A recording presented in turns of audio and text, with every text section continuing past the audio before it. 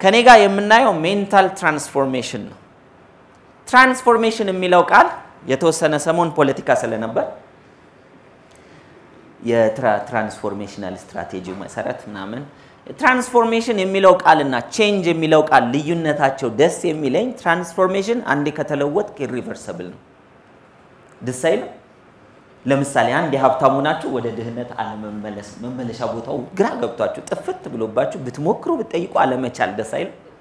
ወደ ጽድቅ ሄዳችሁ አንዴ ከጸደቃችሁ በኋላ ኩነኔ ውስጥ መግባት ወይንም ደግሞ ኃጢአት ውስጥ መግባት አለመቻል ደስ አይልም? በጣም amazing የሆነ ቃል ነው transformation። ስለዚህ transform ማድረግ ያስፈልጋል። transformation ደግሞ ከእጅ አይጀምርም። ብዙ ሰው ለመለወጥ የሚሞክረው ምኑን ነው? በየመንገዱ የምታዩት ኪሎግራሞች ምንን ነው የሚለኩት? አስተሳሰብን የሚለካ ኪሎ አለ። እዚህ እየመጣን ነው። ወይም ደግሞ ሌሎች ስልጠናዎች መድረኮች ላይ these days ብዙ ጥሩ ጥሩ ስልጠናዎች አሉ። የተለያዩ trainer ኦች የሚሰጡት ጥሩ ጥሩ መጽሐፎች አሉ። ጥሩ ጥሩ ረጋሚዎችም አሉ። መጽሐፎቹንም እንደዚሁ አሰልጣኞችንም ማለት ነው። መስሚያችን ምንድን ነው? ጥጥ ነው። እኔ አልሰማም። ልሞት እኮ ነው። ልትሞቱ አይመስላችሁም እንዴ? አንዳንድ ሰው ገና future ነው ሊኖር ነው፣ ጠዋት ተነስቶ ሊኖር እኔ ልሞት ነው። የቀረችኝ አንድ ሰማንያ ዓመት ነች።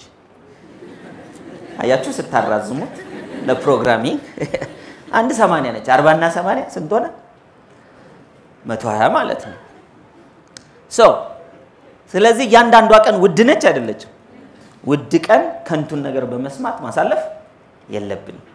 እያንዳንዷ ቀን ውድ ከሆነች በስንፍና ማሳለፍ የለብንም። እያንዳንዱ ቀን ውድ ከሆነ አትችልም፣ አይረባም፣ ምናምን ብዙ ስም ሰዎች ይለጥፉባቸዋል።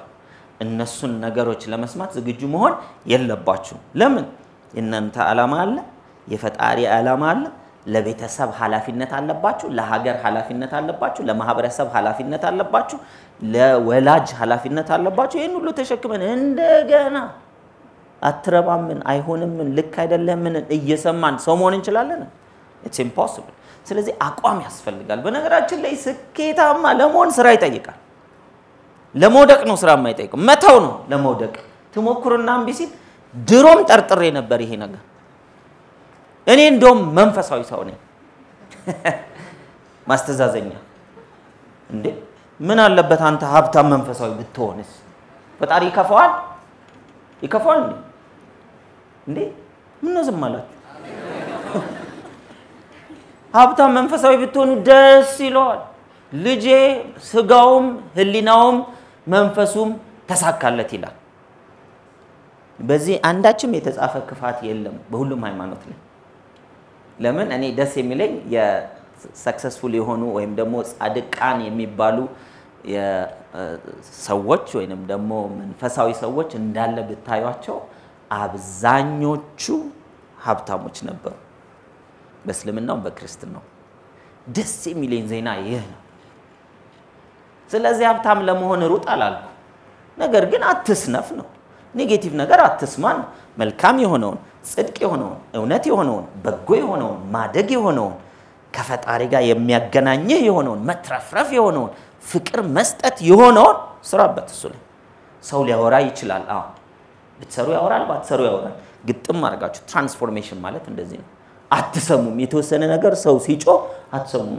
አንቺ ማትረቢ ሲሉሽ ምንድን ነው የሚሉት? አልሰማም የሆነ screen የሚያስፈልጋችሁ አይመስላችሁ? ሰው ሲያወራ ድምፁ ሚል ብቻ ብትሰሙ፣ negative ሲሆን pause ማድረጊያ ቢኖረን የት በደረሰ። እንደ እንቁራሪቷ ማለት ነው። በጣም በህይወቴ እንደ መርህ ከሚይዛቸው መካከል የሆኑ እንቁራሪቶች ተሰብስበው ይሄን ተራራ እንውጣው በጣም ቀጥ ያለ ነው አሉ። ግማሹ ገና ሳይጀምሩ ይሄንንማ አንወጣውም ብለው ቀሩ አሉ። ሳይጀምሩ እኮ አይተውት ከዚህ ላይ አሁን ብወድቅ አልተርፍም ብለው ተዉት። ግማሹ መንገድ ጀመሩ። ከዛ መንገድ የጀመሩትን ያልጀመሩት ምን የሚሏቸው ይመስሏችኋል? የሚያጨበጭቡ ይመስላችኋል? አይጨበጨብላችሁም። ወደ ላይ ስትሄዱ ቅድም እኮ ገልጻለች አለ ከእናት ጀምሮ አርፈሽ ብትቀመጭ ማለት ለእኔ ውልውል ብለሽ ወፍረሽ ከምትከሺ እቤት ቁጭ ብለሽ ከብፌ እቃውና ከአንቺ ጋር ብዙም ልዩነት ባይኖር ብፌ እቃ ነው መቼም ተወልውሎ ቁጭ የሚል ማዲያት አውጥተህ ቢያልፍልህ ይሻላል የተወለወልክ ድሃ ከምትሆን። እኔ እንደዛ ነው ምርጫዬ። አልፈልግም። ዘርማን ዘሬ እንዲቸገር አልፈልግም። ሰው ፊት መቅረብ ምን ማለት ነው? የቤት ኪራይ አጥሯችሁ አከራይ ሲደውል እንደዚህ ብሎ ማውራት ምን ማለት ነው? ትራንስፖርት ወረፋ ጠብቆ ወረፋው ሲደርሳችሁ ቀጠሮ የሚያልፍበት ወረፋ መሰለፍ ምን ማለት ነው? ትራንስፖርት ውስጥ ገብታችሁ የሰዎችን እንዳለ ጠረን የማሽተት ኃላፊነት መወጣት ምን ማለት ነው? ሂሳብ አምጣ መባል ምን ማለት ነው? መልስ ስትጠይቁ እናንተ ታስረሳላችሁ እና የአንተን ገንዘብ ማን ሊበላል ነው መባል ምን ማለት ነው? ባስ ውስጥ ከሆነ ደግሞ ተጠቅጥቀህ ከሰዎች የተለያየ የሰውነት ክፍል ጋር ተለጥፈ መሄድ ምን ማለት ነው? እኔ አሁን ማውራችሁ የራሴን ታሪክ አልፈልግም፣ ልጆቼም እዛ ውስጥ እንዲገቡ አልፈልግም። ይሄ ኩነኔ ነው ካልከኝ እኔ አይገባል። እንድንሰቃይ አልመጣም እዚህ ምድር ላይ ቢቻል ለመንፈስም ለአካልም የሚሆን ስራ መስራት አለብን። ኢትዮጵያውያን በማህበር የሰፈረብን ነገር ቢኖር የድህነት አስተሳሰብ ነው። አንድ አዲስ ለውጥ ሲመጣ ሁላችንም ነው የምንረግመው፣ ሁላችንም። በኋላስ ዓለም ተቀብሎ ወደፊት ሲሄድ በቃ ይሄ ነገር አሪፍ ነው መሰለኝ እያለን ከኋላ ነው እንደ ጭራ የምንከተለው። ሱማሌ ትበልጠናለች። ስልክ በመጠቀም ሱማሌ ይበልጥ። አንድ ጊዜ ሱማሌ እኮ ሱማሌ ላንድ የምትባል ከሱማሊያ የተገነጠለች ሀገር አለች። ኢትዮጵያና ጅቡቲ ናቸው መሰለኝ approve ያደረጓት እንደ ሀገር በፓስፖርታቸው መጓዝ የሚችሉት ሁለት ሀገር፣ ሌላ ሀገር አላላቸው። እዛ ሲሄድ ማውራችሁ ስምንት ዓመት ዘጠኝ ዓመት በፊት እዛ ሄጄ ለስልጠና ነው የሄድኩት።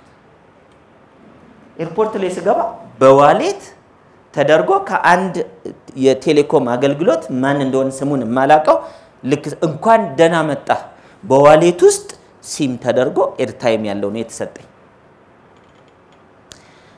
ኢትዮጵያ መጀመሪያ እኛ ቤት ታናሽ ወንድሜ ነው ኢንጂነር ነው እንትን ያወጣው ሞባይል ሲያወጣ የቤት ካርታ ተይዞ ሞባይል ስልክ ለመስጠት ነው። የቤት ካርታ ተይዞ ሶስት ሺህ ብር ሊሆን አምስት ሺህ ብር ተከፍሎ ለምን ይዘው ቢጠፉስ ብሎ እኮ ነው። ደውለው ደውለው አገር ለቀው ቢጠፉስ። ይህን ያክል ነው ጥርጣሬያችን የተንሰራፉ። ስለዚህ ከዓለም ጭራ እየሄድን እንገኛለን። እንኳን ደስ አለ። ከፊት መቅደም ትፈልጋለህ? አዎ። ከዘመኑ ጋር ምንህን ይዘህ ሃይማኖትህን ይዘህ ሂድ። በነገራችን ላይ ፈጣሪን አንዴ ቁጭ ብላችሁ ስትጠይቁት ይሰማል። ደንቆሮ አይደለም። አንዳንድ ሰው ካልጨቀጨቀው የማይሰማው ይመስላል። በየት በኩል ይሰማኛል? መንግስት መሰለ እንዴ ፈጣሪ? በቀጥታ ነው የሚሰማው። የራስን ጫጫታ አንጽተህ ከጠየቅ ማለት ነው። mental transformation ያስፈልገናል። ስለዚህ ስልክ ስንቀበል ሁሉ ተቀብሎ መንግስት የሌላቸው ሀገራት ተቀብለው ሲያልቁ መደዋወያ ግራ ሲገባን ከዛ በቃ እንግዲህ እንደውላ። ቴሌቪዥንም ሲመጣ እንደዚህ ነው፣ ሬዲዮም ሲመጣ እንደዚህ ነው። ምን አለፋችሁ የመጣ ሁሉ መጀመሪያ ሴጣን ነው፣ በኋላ ይህ ሰውዬ ስንለምደው አይደለም ማለት ነው። ስለዚህ please የመጀመሪያው ነገር አዲስ ነገር ሲመጣ pray on ጸልዩ። ጸሎታችሁ ይሰማል። ንጹህ ስለሆንን አይደለም ይሰማል፣ ቸር ስለሆነ ይሰማል። transformation ም ሲባል mental transformation ጥርጣሬ ካለ ጸልይ። ከዛስ በኋላ ግጥም አድርገህ ስራው ነው። mental transformation ሰው እኮ physically transform ያደረጉ ሰዎችን አላያችሁ አይደል? ቀጫጫ የነበረ ሰው ብረት ገፍቶ ምናምን ስፖርት ሰርቶ የሚገርም build ያደረገ በጣም ወፍራም የነበረች ሴት የሆነ ነገር ሰርታ ከዛ በአጭር ጊዜ ከስታ የምትፈልገውን የሰውነት አቋም ያዘች። they have transformed ይሄ እንኳን transformation ባንለውም በአጭር ጊዜ ግን change አድርገዋል። transformation ግን ምንድን ነው? አንዴ ተለውጠህ በዛ አይነት አስተሳሰብ ውስጥ automated የሆነ አስተሳሰብ ውስጥ እየኖርክ ሁል ጊዜ ፍቅርን፣ ሰላምን፣ ጤናን፣ ደስታን፣ መትረፍረፍን፣ ከፍታን፣ አዳዲስ ነገር መፍጠር መቻልን፣ ጽድቅን በዛ ውስጥ automatically እያሰብክ መኖር ማለት ነው። ያንን ለምትፈልጉ ሰዎች ህሊናችሁን transform ማድረግ ትችላላችሁ በፈቃደኝነት። ሰው በጥያቄ እንጀምር። ይስማማችኋል? ጥያቄ ዝግጁ ናችሁ? አንደኛው ዋት ቶት የመጀመሪያው የምትይዙልኝ ሀሳብ ምን አይነት ሀሳብ። ሁለተኛ what feelings ምን አይነት ስሜት። ሶስተኛው what image ምን አይነት ምስል first comes to your mind when you think about your life ስለ ህይወትህ ስለ ህይወትሽ ስታስቢ መጀመሪያ ስለ ህይወት ህይወቴ ብላችሁ ስታስቡ መጀመሪያ የሚመጣው ሀሳብ መጀመሪያ የሚመጣው ስሜት መጀመሪያ የሚመጣው ምስል ምስል ካልመጣ ምንም ምስል አይመጣም የሚል መልስ ነው የምትጽፉት። ወይኔ ምስል አልመጣም ስለዚህ የለውም አትበሉ። ስላላችሁ ሊሆን ይችላል ምስል ያልመጣው። ስለዚህ ምን ይታያችኋል የሚለውን እነዚህን ቢቻል በአንድ ምን አይነት ሀሳብ ለሚለው በአንድ ቃል ጻፉት፣ ካልሆነ በአንድ አረፍተ ነገር። ምን አይነት ስሜት ለሚለው በአንድ ቃል ጻፉት ስሜቱን፣ ካልሆነ በአንድ አረፍተ ነገር።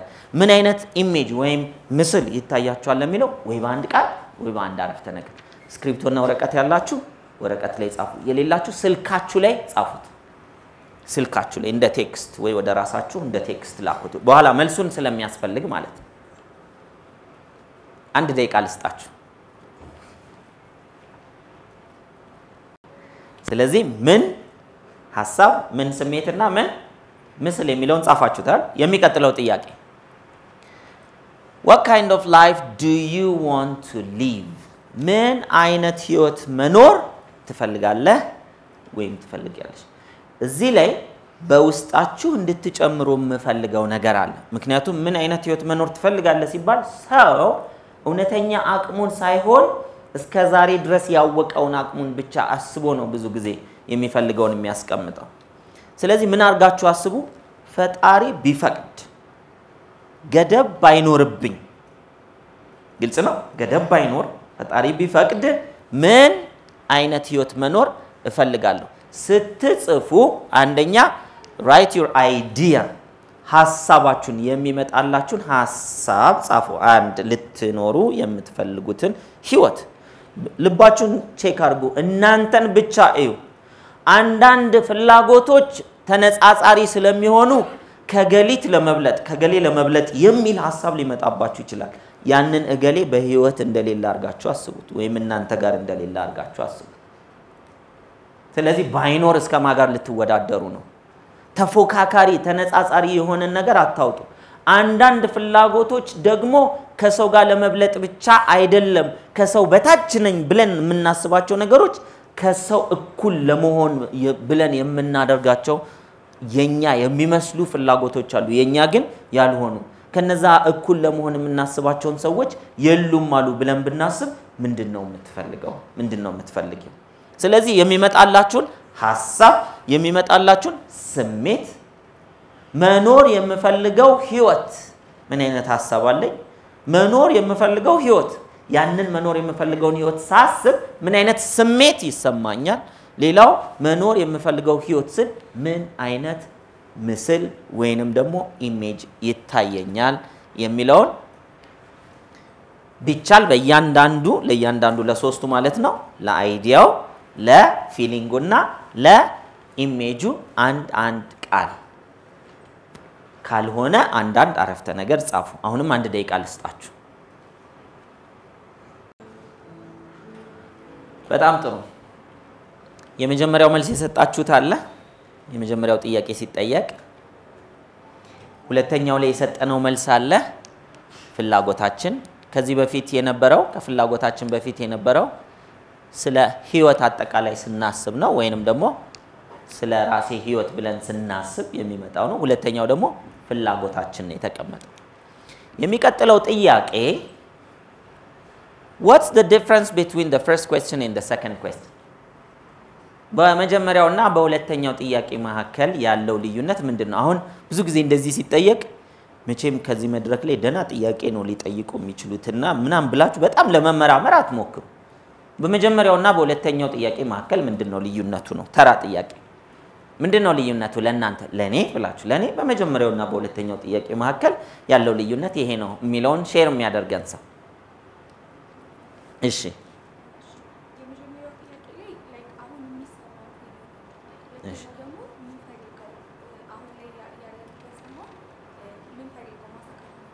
የመጀመሪያው ጥያቄ ያለችው አሁን የሚሰማን feeling ነው። ሁለተኛው ጥያቄ ደግሞ ወደፊት ማሳካት የምንፈልገው አሁንና ወደፊት።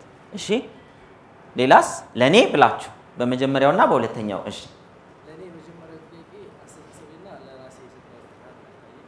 እሺ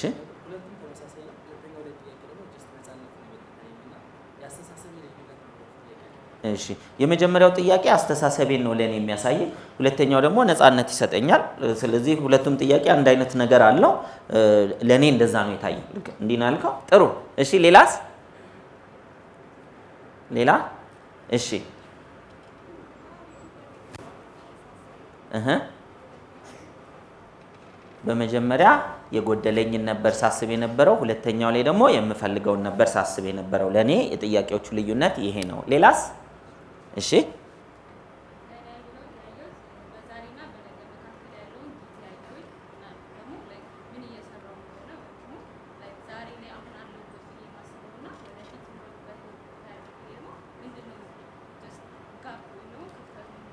እሺ ለእኔ በዛሬና በነገ መካከል ያለውን ልዩነት ነው ያሳየኝ። በዛሬና ነገ በምፈልገውና ዛሬ ባለሁበት በሁለቱ መካከል ያለውን ልዩነት ነው ያሳየኝ። gap ኡን በሁለቱ መካከል ያለውን gap። በጣም ጥሩ። አሁን እዚህ ላይ ነው እንግዲህ መሰረታዊው ነገር ትልቁ ነገር questions are answers። ጥያቄዎች ምንድን ናቸው? መልስ ናቸው። ሁል ጊዜ ሰው ጥያቄውን አሉታዊ ነገር ላይ የሚያደርግ ከሆነ መልሱ ምንድን ነው? አሉታዊ ነው። አዎንታዊ ነገር ላይ ካደረገ ለምሳሌ ችግሬ ምንድን ነው ብሎ የሚያስብ ምኑን ያገኛል? ችግሩን። እንዴት ልለፍ መፍትሄ ከየት አገኛለሁ የሚል ምን ያገኛል? መፍትሄ ያገኛል። ጠላቴ ማን ነው የሚል ሰው ምን ያገኛል? ጠላቱን ያገኛል። ወዳጄ ማን ነው ብሎ የሚፈልግ ማንን ያገኛል? ወዳጁን ያገኛል። የኃጢአት ዝርዝሮች እነማን ናቸው የሚል ምን ያገኛል? የኃጢአት ዝርዝር ዝርዝር የኃጢአት አውቆ ወደ ጽድቅ ለመሄድ ከባድ ነው። ጽድቅ ምንድን ነው ያለ ደግሞ በዝርዝር ጽድቅን ያውቃል፣ ወደዛ ይሄዳል። ስለ ድህነት የሚጠይቅ ምንን ያገኛል? ድህነትን ያገኘዋል። ስለ ሀብት የሚጠይቅ ሀብትን ያገኛል። ስለ ብርሃን የሚጠይቅ ብርሃንን ያገኛል። ስለ ጨለማ የሚጠይቅ ጨለማን ያገኛል። ጥያቄያችንን ማስተካከል አለብን። የመጀመሪያው transformation ይሄ ነው። በሁለቱ ጥያቄዎች መካከል ያለው ልዩነት አንደኛ if you have same or similar answer ለመጀመሪያው ጥያቄና ለሁለተኛው ጥያቄ ተመሳሳይ መልስ የሰጣችሁ እጅ ወደ ላይ። ተመሳሳይ መልስ የሰጣችሁ እጅ ወደ ላይ። አሁን ልክ እንደ ማትሪክ አይደል ውጤቱን የምትጠብቁ። ተመሳሳይ መልስ የሰጣችሁ ምን ይባላል? መልሳችሁ ተመሳሳይ ነው ይባላል። ከዚህማ የተሻለ ነገር እንጠብቃለን። ጉጉታችሁን አይቼው ነው። ተመሳሳይ መልስ የሰጣችሁ ሰዎች that means your attitude towards life and your desired life are the same ቅድም እንደጠቀሰልን የመጀመሪያው ጥያቄ ለህይወት ያላችሁን ለህይወታችሁ ያላችሁን አስተሳሰብ ነው እንጂ ህይወታችሁን አይደለም ያያችሁ። አረ እኔ ህይወቴን ያየሁት። ለምሳሌ እንትን ብዬ ስጽፍ እኮ እንትን ስለሆንኩ ነው ብትሉም አስተሳሰባችሁን ነው የጻፋችሁት። በማስረጃ ይደገፍ አስተሳሰቡ፣ በስሜት ይደገፍ አስተሳሰቡ፣ ከዚህ በፊት በነበረ ውጤት ይደገፍ አስተሳሰቡ። ለማንኛውም ምን ዋለ ስለ ህይወት የምናስበው ሀሳብ ይሄን ይመስላል። ደግሞ ስለ ህይወት የምንጠብቀው ነገር ይሄን ይመስላል። ተመሳሳይ ሲሆን አቲቲዩዳችሁና ምናችሁ ፍላጎታችሁ ተመሳሳይ ናቸው። ያም ማለት አቲቲዩዳችሁ ወደ ፍላጎታችሁ ምን እያደረጋችሁ ነው? እየወሰዳችሁ እያመራችሁ ነው ማለት ነው። ናው ሁለቱስ የተለያዩ ከሆኑ if the two answers are different then your attitude towards life is different from your desire ፍላጎታችሁ ወደዚህ ነው፣ አስተሳሰባችሁ ደግሞ ወዴት ነው? ወደዚህ ነው። እኔ እኮ እንደዚህ ማሰብ ፈልጌ አይደለም ብሎ የሚያብራራ ሰው በስሜት ስሜቱ የት ነው ያለው? የማይፈልገው ነገር ላይ ወይስ የሚፈልገው ነገር ላይ? እኔ በህይወቴ የማስታውሰው የምትወደው ምግብ ስባል እኔ በጣም ስልጆ አልወድም ብዬ ነው የምጀምረው። የተጠየኩት ምንድን ነው attitude ኤ ምንድን ነው ማለት ነው ስለ ምግብ በብዛት ብዙ ጊዜ የማስታውሰው ወይ ኮሌጅ እያለሁ ወይንም ስራ ላይ በጣም busy ሲሆን እንቅልፍና ምግብ ባይኖሩ የሚል በጣም ፍላጎት አለ። ለምን በመብላት ሰዓት የማጠፋውን የጥናት ሰዓት አስበዋለሁ። እኔ ምን አይነት ሰው ነኝ? ሳጠና ረጅም ሰዓት ካልደጋገምኩ memorize ማድረግ አልችልም። ስለዚህ መከራዬን ነው የምበላው። chapter one ላይ ሆኜ ሰው chapter ten ሊጨርስ ይችላል። መጽሐፍም አሁን ሳነብ ያንን ነገር ወደ ተግባር አምጥቼ ህይወቴ እስኪሆን ድረስ ቶሎ ቢገባኝም ቶሎ ደግሞ እረሳዋለሁ። ስለዚህ ለማስታወስ በጣም ደጋግሜ በጣም ደጋግሜ ማንበብ በጣም ከምታስቡ በላይ ምናልባት ሳነብ ብታዩ ይሄ ሰው ደደብ ነው፣ ሁለተኛ ከዚህ ሰው ምንም ነገር አልማርም ነው የምትል። honestly የምሬን ነው ማወራችሁ። እና አንዳንድ ሰው በሳምንት በ15 ቀን መጽሐፍ ጨረስኩ ሲል የምር ቀናባቸዋለሁ። በሳምንት it's impossible። ምናልባት አንድ chapter maybe እሱንም maybe ይጨርስ ይሆናል። ካልሆነ ግን አንድ ዓመት፣ ሁለት ዓመት፣ ሶስት ዓመት አንዳንድ መጽሐፍ 10 11 ዓመት ማጠናቸዋል። ግልጽ ነው። እየተገበርኩ እንደገና እየተመለስኩ እያንዳንዷን ነገር እያየሁ እና understand ለማድረግ takes time ለእኔ። ስለዚህ ምን አደርጋለሁ? ወይኔ እኔ እኮ ስለሆነኝ አለን። በጣም በኩራት ነው ለእናንተም ሳወራ። በቃ ረጅም ጊዜ ይፈጅብኛል። አዎ ረጅም ጊዜ ፈጅቼ እማራለሁ። ረጅም ጊዜ ፈጅቼ አነባለሁ። አለቀ። አልጋጭም ከህሊናዬ ጋር። እንደዚህ ነው የተሰጠኝ። this is my blessing። በረከቴ ይህ ነው። ቀስ ብለህ ተረጋግተህ አንብብ የሚል ስለዚህ ተረጋጉ አይደለም እያልኳችሁ ያለሁት የእናንተን blessing እወቁና በሱ ውስጥ ተቀብላችሁት በደስታ ኑሩበት። በሁሉም ፍሬ ማፍራት ስለሚቻል ማለት ነው። ስለዚህ ለውጥ ማምጣት አለብን ማለት ነው። አስተሳሰባችንና ፍላጎታችን ምን መሆን አለበት? ተመሳሳይ አቅጣጫ መያዝ አለባቸው። አለበለዚያ አስተሳሰቤ ወደኋላ እዚህ ሀገር መለወጥ አይቻልም እያለ እንደገና ፍላጎት ምንድን ነው ሲል እኔ ሀገር ውስጥ መኖር ነው የምፈልገው። ይህ ሰውዬ ወዴትም አይሄድ። ግልጽ ነው። እዚህም አይኖርም እዛም አይሆንም ነው የሚሆነው። ስለዚህ ለምን እዚህ challenge ነው ይላል። እንደገና ደግሞ እዚህ መኖር ይፈልጋል ነው። ፍላጎታችሁ ጋር ሰላማችሁን እዛ አድርጉት። ከ desire ኣችሁ ጋር እምነታችሁን ወይም አስተሳሰባችሁን እዛው ቦታ ላይ አንድ አቅጣጫ ላይ ማድረግ ያስፈልጋል መልካም። ስለዚህ except unchangeables ከማይቀየሩ ነገሮች ውጭ የማይቀየሩ ነገሮች አሉ ማለት ነው። አንደኛ እኔ ስወለድ ይሄ የተሰጠኝ አካል አለ፣ አሻራ ያለ ሊቀየር አይችልም። ምንም እንኳን ብዙ ሰዎች ለመቀየር ፍላጎትና ጥረት ቢኖራቸው። ቻይና በዚህ የተነሳ በጣም successfully ብዙ ነገሮችን እየሸጠች ነው። ብዙ ሰው አካሉን ለመለወጥ ታግሎ ነው የሚሞተው። የማይቀየር አለ አይደል? አሁን ያለው ቁመት ያለ አይቀየርም። አሁን ያለው color ያለ አይቀየርም። አሁን ያለው መልክ ያለ አሁን ያለኝ ቁመቴ ይሄ frame አለ አለ this is me ይሄ ለእኔ የተሰጠኝ ስጦታ ነው። ስለዚህ ደስ ብሎን መያዝ አለብን አካላችን። ከማን ተወለድን ነው? ወላጆቻችን አሉ አይደል? በደስታ መቀበል አለብን። that's gift ስጦታ ስለሆነ ማለት ነው። የተወለድንበትን አካባቢ ሊሆን ይችላል፣ ሰፈር ሊሆን ይችላል፣ ቤተሰብ ሊሆን ይችላል፣ ወዘተርፈ የማይቀየሩ ነገሮችን መቀበል አለብን። learn to accept ስትቀበሉ ደግሞ ማስተዛዘኛ እንደደረሰው ሰው ምን እኛ እኮ ማስተዛዘኛ ነው የደረሰን ሳይሆን በደስታ ከልብ ግጥም አድርገን እንደዚህ ነን ብለን ማንም ላይ ኮርተን አይደለም፣ ግን በ grace መቀበል አለብን። በክብር መቀበል መልመድ አለብን። accept the unchangeables የማይቀየሩትን ነገር ማወቅ change the changeables የሚቀየር ነገር እዚህ ምድር ላይ አለ የለም? የማይቀየርስ አለ የለም? ስለዚህ አያችሁ የኛ አሁን ትልቁ ጥበብ የሚባለው የማይቀየረውንና የሚቀየረውን ማወቅ። አንድ አስተሳሰባችሁ ይቀየራል አይቀየርም? ይቀየራል። ስለ ሀገር ስለ ኢትዮጵያ ያላችሁ አስተሳሰብ ምን እንደሆነ አላውቀውም፣ መገመት ግን እችላለሁ። ኢትዮጵያዊ ስለሆንኩ መቀየር ይቻላል አይቻልም? ስለ ራሳችሁ ያላችሁን አስተሳሰብ መቀየር ይቻላል አይቻልም? እያልኩ ያለሁት ውጤቱን አለ ሀሳቡን ብቻ መቀየር ይቻላል። ግጥም አድርጎ እኔ መጀመሪያ አካባቢ ስልጠና ሳገኝ ከ10 ከ15 ዓመት በፊት መጀመሪያ ያደረግኩት ሀሳቤ ነው። እኔ እየራበኝ ቁርስ፣ ምሳ፣ እራት በአግባቡ መብላት አልችልም። ብፌ ደርድሬ በሀሳቤ መብላት ማንም አባቱ ሆቴል መርጣችሁ እስቲ ግቡ። ማታ ግቡና እቤት ከዛ ከጸሎታችሁ በኋላ ልትተኙ ስትሉ አይናችሁን ጨፍናችሁ ሸራተን ሰተት ብላችሁ ግቡ። ቦታ መርጣችሁ ተቀመጡ።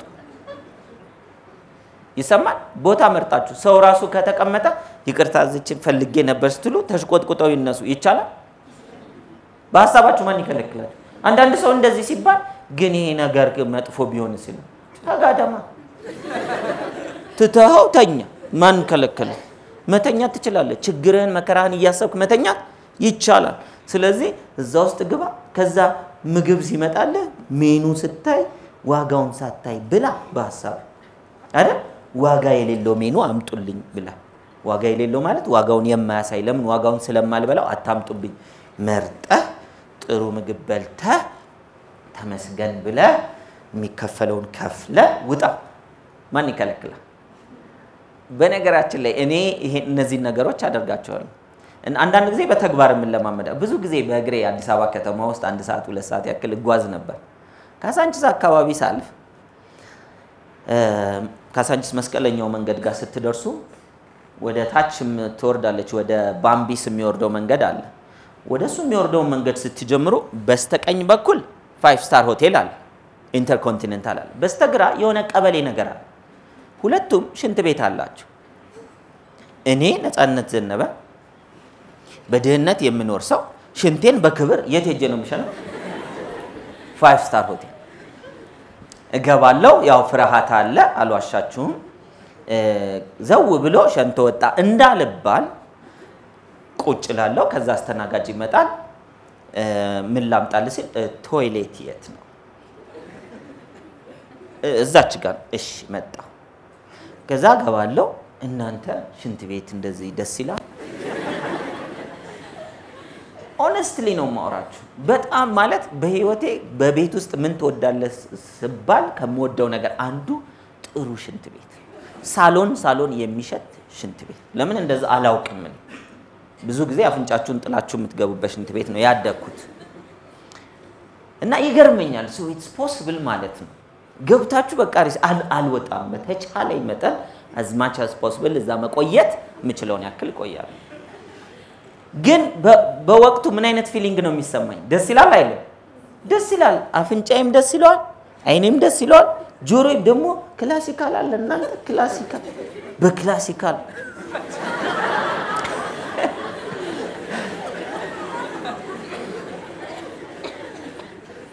I was bold enough ደፋር ነበርኩኝ። ራሴን የትራንስፖርት በጣም እንዲህ አይነት ቦታ ነው የሚገባኝ ብዬ በሁለቱ መካከል ለመምረጥ።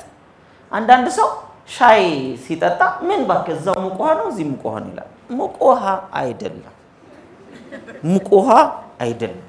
five star ሆቴሉ ስትገባ instrumental ተለቆልህ ሰፊ ቦታ ኖሮ እንደመጣ ተንደርድሮ ላይ ላይ ድፍት የሚል አስተናጋጅ አይደለም ያለው። ዩኒፎርም የለበሰ ጠረኑ ጥሩ የሆነ የታጠበ ሰውነት ያለው። ተከብረህ respect ተደርገህ ለምን በፈጣሪ ዘንድ የተከበርክ ነህና ምን ይምጣልህ ሲባል ምንም አልፈልግም ብትል እሺ ችግር የለም ተብሎ ተሄዶ እስቲ ዝንቦ ሻይ ቤት ገብተህ ማለት ነው። አንደኛ አጨብጭበህ እንደ ፓርላማ ነው ከመጡ ነው ከዛ ከመጣ አትሰሙም እንዴ ብለህ ተሰዳድበህ ነው። ከዛ ይመጣልሃል ተብሎ ሲያስቀምጥልህ ግማሹን ደፍቶት ከስር ፕላስቲክ ነው። ውስጥ ያፈላው ሰውዬ እያለቀሰ በደሞዝ ምክንያት ማለት ነው እያለቀሰ ነው የሚሰራው። ግማሽ የሰው ላብ፣ ግማሽ ጨው፣ ግማሽ ስኳር ብለው የምትጠጣው ማለት ነው። ከዛ ሙዚቃ እዛ ጋር ተከፍቶልሃል። ጠጋ በል ተብለህ ነው የሚያልፍ ሰው በላይ ላይ አንዳንዴ ሻይ ሊደፋብህ ይችላል። እና ይሄ ሙቅ ውሃ ነው አይደለም። respect አይንህንም አክብረው ደህና ነገር እንዲያይ፣ ጆሮህንም አክብረው ደህና ነገር። የማትፈልገውን ወሬ ሁሉ ትሰማለህ ትንንሹ ቤት ስትገባ። respect yourself ራሳችሁን የስሜት ዋሳችሁን አክብሩት። ስለዚህ መርጬ ወደዛ ሄድ ነበር። ቤት ስሰራ መጀመሪያ አራት floor ስላለው በእያንዳንዱ ላይ ሽንት ቤት ይሰራልኝ። ትንሽ እኮ ነው፣ ሰባ ሁለት ካሬ ላይ የሚሰራ አያገባኝ። እኔ ነው የማውቀው ጉዳቴ። ገና ከአንደኛው ወደ ሁለተኛው ፎቅ ለወጣ ነው። I love toilets። ምን ትወዳላችሁ አሁን እናንተ? እንዴት ስላችሁ ይሄ የማይወደድ ነገር ይወዳል። ምን ተበላና ነው ደግሞ ሽንት ቤት የሚካሄደው የሚል ሰው ምን ተበላና ነው የሚለው ሰው ቁርስም ምሳም እራትም ይበላል። የማይረባ ነገር ለመብላትም ካሰብክ ትበላታል። የሚረባም እንደዚሁ ትበላል። ምረጥ። ከምግብ ጋር ራስን አያያዝ እያልኩኝ አይደለም። please misunderstand አታድርጉ። ግን respect your body አክብሮት። ይሄ የተቀደሰ ነው ፈጣሪ ሲሰራው። ስለዚህ የተቀደሰ ከሆነ ጥሩ ጥሩ ነገር ይገባል። ንጹህ ነገር የሰው ላብ አትብሉ። የሰው ላብ ላለመብላት ከፈለክ ለሰራተኞቹ ጥሩ የሚከፍል ቦታ ሄደ መብላት አለብህ። ስለዚህ ለእነሱ ደሞዝ ጭምር ነው የምትከፍል። ግልጽ ነው። ሌላ ቦታ ግን ለእንባ ነው የምትከፍል። ምረጡ ዛሬ transform ለማድረግ ስለዚህ expect ማነው accept unchangeables ከማይቀየሩት ውጭ የሚቀየሩ አሉ አይደል? የሚቀየሩትን ቀይሩ። wisdom ጥበብ ማለት የሚለወጠው የትኛው ነው የማይለወጠው የትኛው ነው የሚለውን ልዩነቱን ማወቅ። your thoughts are changeable ሀሳባችሁ ሊለወጥ የሚችል ከዛ ውጭ ያለውን እኔን አትቀይሩም፣ ሌላ ሰው አትቀይሩም፣ ዓለም አትቀይሩም። ዓለምን ለመለወጥ የተነሳውን ሰው ብዙ እንግዲህ ትሬኒንጎች ላይ ትሰማላችሁ አይደል? ዓለምን ለመለወጥ ተነሳ። ዓለምን ዞረ ዞረ አስር ዓመት ተመለሰና ገባኝ ለካ ዓለምን ከመቀየሬ በፊት አህጉሬን ነው የምቀይረው አለ። ተነሳ አህጉሩን ለመለወጥ አስር ዓመት ዞረ ተመለሰ፣ ማንም አልተቀየረም። አሀ ለካ መጀመሪያ አገር ነው የሚቀየረው አለ። እሺ ከዛ አስር ዓመት ዞረ። ስንት ዓመት ሆነው? ሰላሳ ዓመት ማንም አልተቀየረም ሀገር ውስጥ ለካ ዋናው ከተማ ነው ብሎ ገባው። ከተማውን ለመቀየር ተነሳ፣ ዞረ። አስር ዓመት አርባ ዓመት ሞላው፣ ተመለሰ። ማንም ከተማ ውስጥ የተቀየረ የለም። ከዛ wow ከተሞች ለካ የሚገነቡት በቤተሰብ ላይ ነው። ቤተሰብ ከተቀየረ ብሎ አስር ዓመት ቤተሰቡን ለመቀየር ሞከረ። ማንም አልተቀየረም። ሀምሳ ዓመት ሰውየው ሲጀምር ሰላሳ ዓመቱ ነበር። ሲደመር ሀምሳ ስንት ሆነ? ሰማንያ ዓመት። በሰማንያ ዓመት ገባሁ እኔ ራሴን ካልቀየርኩ ራሴን ለመቀየር ደግሞ አስተሳሰብን ሀሳቤን ለካ ልቀይር ብሎ ሲጀምር ሞተ። አቤት! ስለዚህ ይሄ ማ ታሪክ ነው። ወንድም ለመቀየር፣ እህት ለመቀየር፣ ልጆቻችን ለመቀየር፣ ጓደኞቻችን ለመቀየር፣ ሀገር ለመቀየር ሀሳብ እየሰጠን አይደል እንዴ? እኔና እናንተ የምንኖረው የእኛ ህይወት እኮ ነው። ስለዚህ ሌላውን ሁሉ ተውና ለኢትዮጵያ ማንን ቀይሩላት? የራስን ሀሳብ ልብሳችሁን አላልኩ። ብዙ ሰው ልብስ ነው የሚቀይር። ለኢትዮጵያ ምን ቀይሩላት? ሰፈር አትቀይሩላት። ለኢትዮጵያ ማንን ቀይሩላት? የራስን ሀሳብ ስለ ኢትዮጵያ ያላችሁን ሀሳብ ቀይሩ። ለቤተሰብ ስለ ቤተሰብ ያላችሁን ሀሳብ። ለዚህ ነው የኔ ቤተሰብ እየተራበ በጓደኞች በዘመድ በምናምን እየተረዳ፣ እኔ ግን ለሁሉም ስጦታ ስሰጥ ነው የማየው።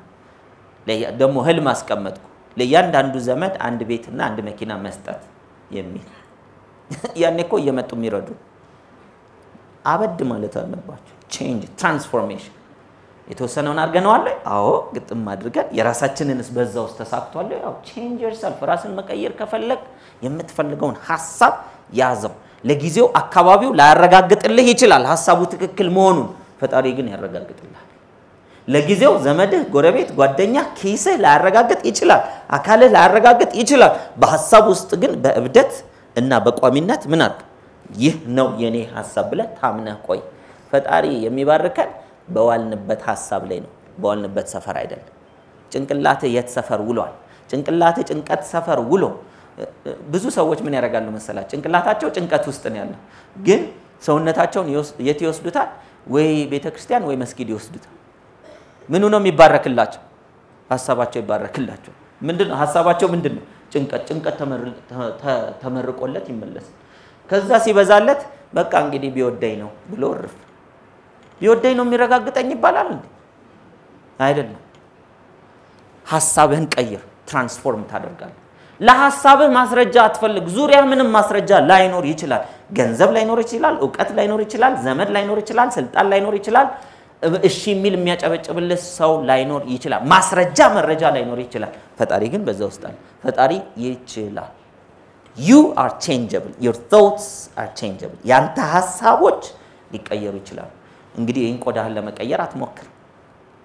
ክብደትን ለመቀየር አትልፋ። ሀሳብን ቀይር። መጀመሪያ ስለ ክብደት ያለን ሀሳብ ቀይር። ትለወጣለህ ወይ? exactly።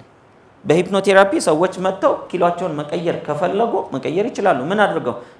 እኔ ወፍራም ነኝ ብሎ ለመቀነስ የሚሞክር ሰው በየቀኑ ወፍራም ነኝ እያለ ማለት ሀሳቡ ብለስ ይሆንለታል። ለምን እንደሆነ ራሱ ምናልባት ስፖርት አሰሪውም ግራ ይገባዋል።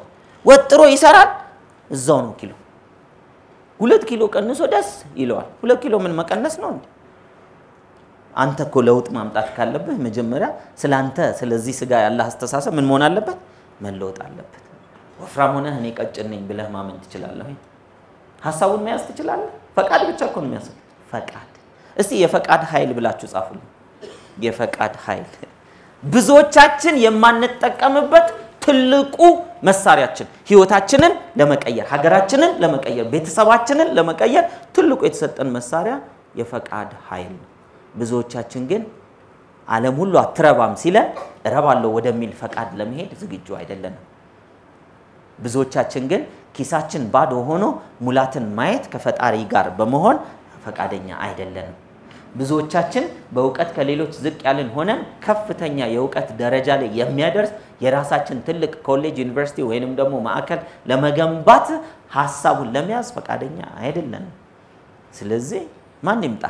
ፈቃድ። ልብ አድርጉ፣ ፈቃድ ትልቁ የተሰጠን መብት ነው በዚህ ምድር ላይ ፈጣሪ የሰጠን። ስለዚህ እሱን ይዘን ወደምንፈልገው መቀየር እንችላለን። change the changeable፣ unchangeable ኡን እወቁት ነው የመጀመሪያው። ከማይለወጠው በስተቀር whatever you face in your life፣ በህይወታችሁ የሚገጥማችሁ ነገር ፀሐይ በምስራቅ ነው የምትወጣው በምዕራብ ትውጣ የሚል ጭቅጭቅ ውስጥ አትግቡ። ሊቻል ይችላል፣ ልታረጉት ትችላላችሁ። እኔ አላውቅም እንዴት እንደሚደረግ that is changeable። ህይወታችሁ ላይ ብዙም ለውጥ አያመጣም በምዕራብ ቢወጣ ምናልባት የቤታችሁ ዋጋ ይጨምር ይሆናል። ምክንያቱም ወደ ፀሐይ ፊቱን ያዞረ ውድ ነው መሰለኝ እና ወደ ምዕራብ ከሆነ እናንተ አዙሬ ዋጋውን ሊጨምር ብላችሁ መታገል ይቻላል። ቀጥሉበት። ስትጨርሱ መጽሐፍ ጻፉልን፣ ስልጠና ስጡን። እኛም ደግሞ ወደ ሰሜን እናዞራታለን ለእኛ ቤት እንዲመች አድርገን። ስለዚህ change the changeable you are changeable your thoughts are changeable። ሀሳብህ ሀሳብሽ ሊቀየር የሚችል ነው። ሀሳብህን የሚደግፍ ብዙ ማስረጃ መሬት ላይ ሊኖር ይችላል፣ አሉታዊ ሀሳብህን። ነገር ግን በልብ ውስጥ ያለውን ፍላጎትም ሊደግፍ የሚችል ማስረጃ ባይኖርም የሚደግፍህ ግን ፈጣሪ አለ። ዓለም ከሚደግፍህ ፈጣሪ ከሚደግፍህ ምረጥ። መርጠህ ያዝ። ፈጣሪ ሀሳብህ ባለበት ነገር ላይ ብለስ ሊያደርግህ ዝግጁ ነው። እኔ አልረባም ብለህ ከያዝ አለመርባትን ይሰጣል። ፈልጎ አይደለም ይሰጥ፣ አዘህ ነው የሚመጣል። ስለዚህ ምን ለማዘዝ ዝግጁ ነህ ነው።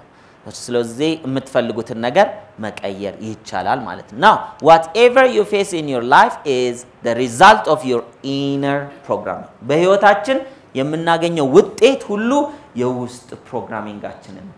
የመጀመሪያው ጥያቄ ላይ መልስ የሰጣችሁት የውስጣችሁን programming ነው፣ ስለ ህይወት ያላችሁን። ከዛሬ በኋላ እሱን መልስ መኖር የማትፈልጉ ከሆነ change your programming። እንዴት ይሄ ስልጠና ሊሰጥ የማትፈልጉትን አይነት መልስ ከሆነ የጻፋችሁት ስለ ህይወት ያለህ እይታ ምንድን ነው? ስለ አንተ ህይወት ሲባል መከራ ናት፣ ትንሽ ከባድ ነው፣ ህይወት ግራ የገባት ናት፣ ወይም ደግሞ አስቸጋሪ ነው፣ ፈታኝ ነው ወዘተርፈ ብላችሁ የጻፋችሁ ካላችሁ blame ለማድረግ ሳይሆን አሁን በመስተዋት አይታችኋል ማለት ነው። እሱን መቀየር አለባችሁ። ከዛ you will transform forever።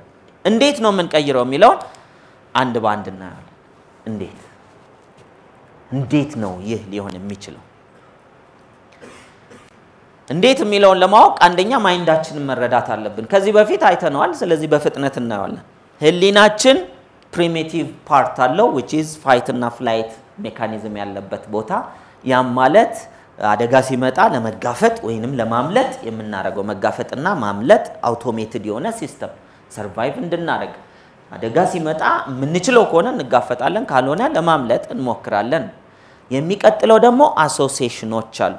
positive association ከተወለድን ጊዜ ጀምሮ እስከ እድሜ ስምንት ድረስ የምናቃቸው positive ነገሮች አሉ የምንወዳቸው። ለምሳሌ በቤት ውስጥ ውሻ፣ ድመት ያሳድግ የነበረ ቤተሰብ ካለ ህፃናት ሆነን ከነሱ ጋር ከተጫወትን አድገንም ትልቅ ስንሆን ውሻ ስናይ ውስጣችን positively፣ ድመት ስናይ ውስጣችን positively ምን ያደርጋል? associate ያደርጋል። at the same time በልጅነቱ ደግሞ ውሻ የሚጠላ ቤተሰብ ከሆነ ያሳደገን ወይም ደግሞ ውሻ የማይወድ ወይም የሚፈራ ከሆነ ምን ይሆናል? ውሻን ባየን ጊዜ fight and flight mechanism ነው ከውስጣችን። ልክ ስናይ ምን ለማድረግ ወይ ለማምለጥ ወይ ለመጋፈጥ ምን ሞክር ያ ምን ያደርጋል ማለት ነው። fight and flight mechanism ውስጥ ስንሆን ሁል ጊዜ ያንን ነገር ለማምለጥ negative association ያለን ማለት ነው። ፖዚቲቭም አሶሲዬሽን ፖዚቲቭም ይሁን ኔጌቲቭም ይሁን ሰብኮንሽስ ማይንዳችን ውስጥ እስከ እድሜ ስምንት ድረስ የተጠራቀመው በኋላ internal motivation ኣችን የሚሆነው እሱ ነው። የምንጠላውንም ነገር እንኖረዋለን፣ የምንወደውንም ነገር እንደዚሁ አብሮን ይኖራል። ለምን? subconscious mind ኣችን ሁልጊዜ አውቶማቲክ እነሱን thought ኦች vibrate ስለሚያደርግ እነዛን የምንጠላቸውን ነገሮች ወደኛ ያመጣል፣ የምንወዳቸውንም ነገሮች ወደኛ ያመጣል። ስለዚህ ዛሬ ላይ ስለ ህይወት ሲጠየቅ የእኔ ህይወት ብላችሁ የጻፋችሁት ነገር አሉታዊ የሆነ ሰዎች እሱን ለመለወጥ ከፈለጋችሁ መጀመሪያ ይሄንን programming መቀየር አለብን። እንዴት ነው የምንቀይረው የሚለው እናያለን። subconscious mind ኣችን positive እና negative association ኦችን አጠራቅሟል እስከ እድሜ ስምንት ከእድሜ ስምንት በኋላ alpha state ውስጥ በምንሆንበት ጊዜ በተለያየ ጊዜ እያጠራቀመ ይቀጥላል። እነዚህ knowns ይባላሉ። የተጠራቀሙ positive እና negative associations። knowns ማለት subconscious mind ያወቃቸው ነገሮች ማለት ነው። እውቀት ማለት አይደሉም። knowns ማለት engraved የሆኑ የተቀረጹ ነገሮች ናቸው። ስለዚህ እነዚህ known ኖች ለ subconscious mind motivation ናቸው። ውሻ ጠላለው ትላላችሁ፣ subconscious mind ኣችሁ ሁል ጊዜ ውሻ እንዲያጋጥማችሁ ያደርጋል። ምናልባት ሰዎች ሲሰድቧችሁ ወይንም ደግሞ የሚያስቀይሟችሁ እገሌ እኮ እንደዚህ ሲል ቀየ እኔ ሰው ሲያኮርፈኝ አልወድም የምትሉ ሰዎች ከሆናችሁ አልወድም conscious ፍላጎት ነገር ግን በስሜት እየተናገራችሁ ያላችሁት መውደዳችሁን ሳይሆን መጥላታችሁን ስለዚህ ምን ይሆናል? ሁልጊዜ የሚያኮርፉ ወይም ደግሞ እንደዛ አለመውደዳችሁን manifest የሚያደርጉ ሰዎች ወደ እናንተ ህይወት እየመጡ ይመጣሉ። so that is your internal motivation። subconscious mind ውስጥ positive ም ይሁን negative ም ይሁን known የሆነ ነገር እውቅና የተሰጠው ነገር ለምሳሌ የገንዘብ እጥረት የገንዘብ እጥረት አብዛኞቻችን ውስጥ known ሆኖ ያደግን ይመስለኛል፣ ሁላችንም ውስጥ ባይሆን ስለዚህ guess what አንድ ሺህ ብርም ስታገኙ የገንዘብ እጥረት አለባችሁ። አስር ሺህ ብርም ስታገኙ የገንዘብ እጥረት አለባችሁ። መቶ ሺህ ብርም ስታገኙ የገንዘብ እጥረት አለባችሁ። ሁል ጊዜ እጥረቱ ይቀጥላል። ለምን? subconscious mind motivated ይሆናል በዛ ነገር። ስለዚህ ሁልጊዜ እጥረትን ያስኖራችኋል። አስር ሺህ ስታገኙ 11 ሺህ ያስወጣችኋል። መቶ ሺህ ስታገኙ መቶ አንድ ሺህ ያስወጣችኋል። ሁልጊዜ አንድ ሺህ ያጥራችኋል። ህይወታችሁን ብታዩ እንደዛ ነው። ለምንድን ነው እንደዛ የምንኖረው ሲባል subconscious mind ኣችን ውስጥ ህፃን በነበርንበት ጊዜ ቤተሰብ፣ ዘመድ፣ ጓደኛ፣ ጎረቤት፣ ሚዲያ፣ አስተማሪ፣ የትምህርት ቤት ጓደኛ ወዘተርፈ ምን አድርገውናል? እንዲህ ነው እንዲያ ነው እንዲህ ነው እንዲያ ነው የሚሉ ያየናቸው፣ የሰማናቸው፣ experience ያደረግናቸው አሉታዊም አዎንታዊም ነገሮች subconscious mind ኣችን ውስጥ ገብተው programming ሆነዋል። motivations ማለት እነዚህ ምን ይሆናሉ? የ subconscious mind pleasure ይሆን consciously እንጠላዋለን። እኔ ከሰው ጋር መጨቃጨቅ አልወድም የምትሉ ሰዎች ካላችሁ፣ እኔ መቸገር አልወድም የምትሉ ሰዎች ካላችሁ፣ በህይወታችሁ ግን እየተጨቃጨቃችሁና እየተቸገራችሁ የምትኖሩ እኔ ሰዎችን ማስቀየም አልወድም የምትሉ በተለያየ ጊዜ ግን እያስቀየማችሁ ያላችሁ subconscious mind ውስጥ ያለው programming ካልተቀየረ በ conscious ፍላጎት የፈለገ እቅድ እያወጣ ብትሄድ አትለወጥም። ከዚህ በፊት ነግሬያቸዋለሁ። ደቡብ አፍሪካ ጆሃንስበርግ ውስጥ ለስልጠና ሄጄ ከስልጠና ስወጣ ጆበርግ እንትን መርካቶ ውስጥ የነሱ መርካቶ ልበላችሁ፣ መርካቶ ውስጥ አብዛኛው አበሻ ነጋዴ ነው። የወሰዱኝም እዛ የነበሩ ቤታቸው ያረፍኩት የራሳቸው ንግድ ቦታ አላቸው። ከዛ አንድ ህንፃ አሳዩኝና ground plus nine ምናምን ህንፃ ነው ይሄ አበሻ ነው። የዛሬ 17 ዓመት ሲመጣ ቀበቶ ያዞር ነበር አሉ። አንድ አበሻ የተለወጠ። ከዛ ውስጥ ስገባ የመጀመሪያው floor ላይ የአበሻ ሙዚቃ ቤት፣ የአበሻ ቅመማ ቅመም መሸጫ፣ የአበሻ ልብስ መሸጫ፣ የአበሻ እንዳለ ሙዚቃ ቤቱን ባለቤቱ አበሻ ነው አሉ። ውስጡ የሚሰራው ተቀጥሮ ማን ነው? አበሻ ነው አሉ። ከዛ እየወጣን እየወጣን ሄደን አምስተኛ ፎቅ ላይ ስንደርስ ስገባ ሀበሻ እንዳለ ቁርጥ ይበላል። እንዳለ ቁርጥ አዲስ አበባ ልሁን ጆሃንስበርግ ልሁን ጠፋብኝ። ልክ እዛ ጋር ስገባ ማለት ነው። ከዛ ለእኛም ቁርጥ መጣ። ቁርጣችንን በላን። አስተናጋጁ ማን ነው? ሀበሻ ነው። ካሸሩ ማን ነው? ሀበሻ ነው። የሚበላውስ ማን ነው? ሀበሻ ነው። ባለቤቱስ ማን ነው? የዛ ሬስቶራንት ባለቤት ሀበሻ ነው። በልተን ጠጥተን ታጥበን ወጥተን መንገድ ልክ በር ላይ ስንወጣ ደግሞ የኔ ቢጤዎች አሉ። የኔ ቢጤው ማን ነው? ሀበሻ ሀገር አይለውጥህም። እዚህም ተቀጣሪ ነኝ ካልክ ደቡብ አፍሪካ ሄደ ተቀጥረ ትሞታል። እዚህም ነግጄ ለብዙ ሰዎች የስራ እድል እፈጥራለሁ ካልክ ውጭም ካልክ ቦታው አይደለም ሀሳቡ ያደርግሃል። ለምን ፈጣሪ ብለስ የሚያደርገው ምንህን ነው? ምንሽን ነው? ሀሳብህን ነው። በስህተት አሉታዊ ነገር አስብ፣ ውድቀትን አስብ። ተሳስቶ ነው የሚባል ነገር የለም። it's your responsibility ኃላፊነት ነው። ቀና ማሰብ ኃላፊነት ነው። በአሉታዊ environment ውስጥ ሆኖ ቀና ማሰብ ኃላፊነት ነው። እስቲ አሉታዊ አስብና አወንታዊ ጸሎት እያደረግ ህይወትህ ይለወጥ እናያለን። it's impossible። ሰው በልቦናው እንዳለው እንደዛው ነው የሚለው የፈጣሪ ቃል ስለዚህ ልቦና ውስጥ የሚመላለሰው ምንድን ነው? ጥፋት ነው። ጥፋትን ታገኛለህ። transform ማድረግ ትፈልጋለህ? ሀሳብን ብቻ ቀይር። ተአምር በዚህ ምድር ላይ መስራት ትችላለህ። በአንድ ቀን አትለወጥም፣ በሁለት ቀን አትለወጥም። በእርግጠኝነት ግን የሀሳብህ አይነት ውጤት በህይወትህ በህይወትሽ ይገለጣል። ስለዚህ pleasure ኡ ነው ለ subconscious mind በውስጡ የተጠራቀሙትን አሉታዊ ነገሮች እዚህ እኔ አልረባም እኔ እኮ በቃ ችግረኛ ነኝ ካልክ ደቡብ አፍሪካ ለመቀየር ሄደህ ከዛ በር ላይ ምን ታደርጋለህ? ትለምናለህ። እኔ እኮ ታላቅ ነኝ ካልክ ደቡብ አፍሪካ መሄድ እዚህም ሁን ቀበቶ አዙረህ ground plus nine በሰው ሀገር ውስጥ ገንብተህ ለብዙዎች አከራይተህ መኖር ትችላለህ። እኔ ማነኝ ትላላችሁ ነው ትልቁ ነገር። ማነኝ እያላችሁ ነው ራሳችሁ እስከ ዛሬ ባላችሁ መረጃ አይደለም፣ በፍላጎታችሁ እንዲህ ነኝ እኔ እስካሁን አልተገለጠም፣ እንዲህ ነኝ ብላችሁ አስቀምጡ። ትዝ ይለኛል እኛ እየተቸገረን ምን ተፈጥሮ ነበር መሰላችሁ? ከሰብሊ ጋር ከባለቤቴ ጋር ተጋብተን ቁርስ፣ ምሳ፣ እራት መብላት አንችልም። እና በጣም እንቸገር ነበር። ተቸግረን ቤተሰብ፣ ዘመድ፣ ጓደኛ መጥተው support ያደርጉናል። እና አክስቴ ትመጣና ለቤት ሽንኩርት ምናምን አስቤዛ ገዝታ ለሰብሊት ሰጣትና ከዛ እንደው ብትመክሪው ይሄን ልጅ ማንን? እኔን ብትመክሪው ምን ቢያደርግ? አርፎ ያዛን የጡረታ ስራ ቢሰራ። Commercial Bank of Ethiopia ነበር መጀመሪያ የተቀጠርኩት። አርፎ እዛ ቢሰራ ጡረታውን ያስከብራል። ጡረታ ብሎ ክብር አለ እንዴ? ጡረታ ማለት ለእኔ አንድ መስሪያ ቤት መስሪያ ቤቱ አፍ ነው አሉ ያስገባህና እንደ ማስቲካ አንድ ዓመት ሁለት ዓመት ሶስት ዓመት አራት ዓመት አኝኮ አኝኮ ሰላሳ ምናምን ዓመት ላይ ጣዕም ጥፍት ሲልበት አንተን በክብር አውጥቶ የሆነ የሽኝት ፕሮግራም ያደርግልህና ለጊዜው ምንም ጣዕም የለህም ብሎ ይጥልህና ሌላ ትኩስ ማስቲካ ከዩኒቨርሲቲ አምጥቶ ማኘኩን ይቀጥላል። ስለዚህ ለመታኘክ ፈቃደኛ ከሆንክ ግባ። ጡረታ ማለት ያ አልፈልግም። እኔ እየተቸገርኩ ነው የሰራሁት፣ በቃ አንድ ጊዜ አምኜ ማለት ነው። እና ሰብሌ ትመጣና ምትለኛለች፣ እንደው ዛሬ እኮ ኮንኬ ነው የምንላት ቤታችን። ኮንኬ መታ እኮ እንደዚህ እንደዚህ ምናምን እንትን ገዛችልን አስቤዛ። እግዚአብሔር ይስጣት። ውይ ልንበላ ነው ማለት ነው። ደስ ነው የሚለኝ። ለምን እየራበኝ ስለሆነ የምሰራ፣ ሳይረበኝ ብሰራ ደስ ይለኛል።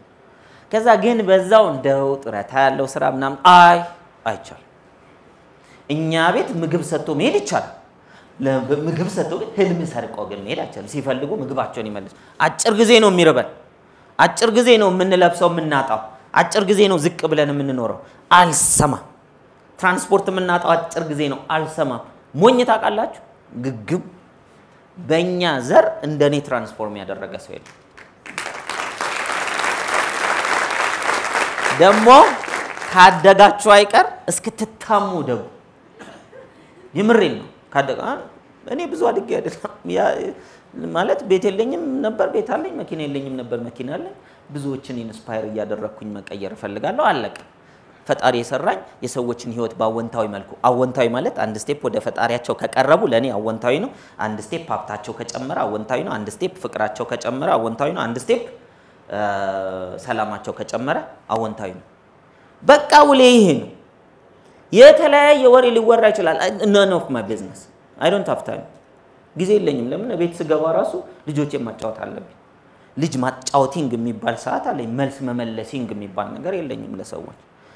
እውነቴን ነው የምላችሁ። በህይወታችሁ አተኩራችሁ አንድ ሀሳብ ያዙ። ለጊዜው ትፈተናላችሁ፣ አይቀርም። ለምን አብዛኞቻችን የምንወጣው ከድህነት ነው፣ ከማጣት ውስጥ ነው የምንወጣው። እየተጨበጨበልህ አትሄድም ወደ ስኬት። መጀመሪያ የሚጎትተ ቤተሰብ ነው፣ በፍቅር ነው የሚጎትተ ቀጥሎ ጓደኛ ነው የሚጎትት። በፍቅር ነው ለአንተ አስቦ ነው። ተይ ይቅርብሽ፣ ይሄ ነገር አከሳሽ እኮ አሁን ወፍራ ምን ልትጠቀም ነው አከሳሽ የሚባል እኔ ይሄ ጉንጬ ሾሎ ቢሳካልኝ ይሻላል ሙሉ ሆኖ ከሰው እየተበደረ ከሚበላ ማለት ነው። የድሮ ፎቶዎቼን አያለሁ እንደዛ በእግሬ ምናምን በሚሄድበት ጊዜ የምር ሳየው honestly እኔ ፈረዋለሁ ራሴ እና ለሰብሊ ምን እላታለሁ፣ ይሄንን ፊት በማግባትሽ በጣም ነው ማከብር አንድ ቀን አሳያቸዋለሁ። Honestly ያስፈራል። ሌላ ሰው ውጪ ነው አሁን የምመስለው completely አስፈሪ ሰው። አስፈሪ ልትሆን ትችላለህ physically፣ ችግር የለም። የሚያስፈራ ሀሳብ ይዘህ ፊትህ ከሚያምር ፊትህ አስፈርቶ የሚያምር ሀሳብ ብትይዝ ይሻላል። ውሳኔው እናንተ፣ ማንም አይነካባቸው። ቆንጆ በዝቅተኛ ህይወት የሚኖር ሰው መሆን ትችላለህ። ወፍራም ድንቡሽ ያለ እየለመነ የሚበላ ሰው መሆን ትችላለህ። ደግሞ ጠንክረ ሰርተ በላብህ ማለት ነው፣ እንደ ኃይሌ ማለት ነው። ፊቱ ሲሮጥ ምን ይመስል እንደነበር ታውቃላችሁ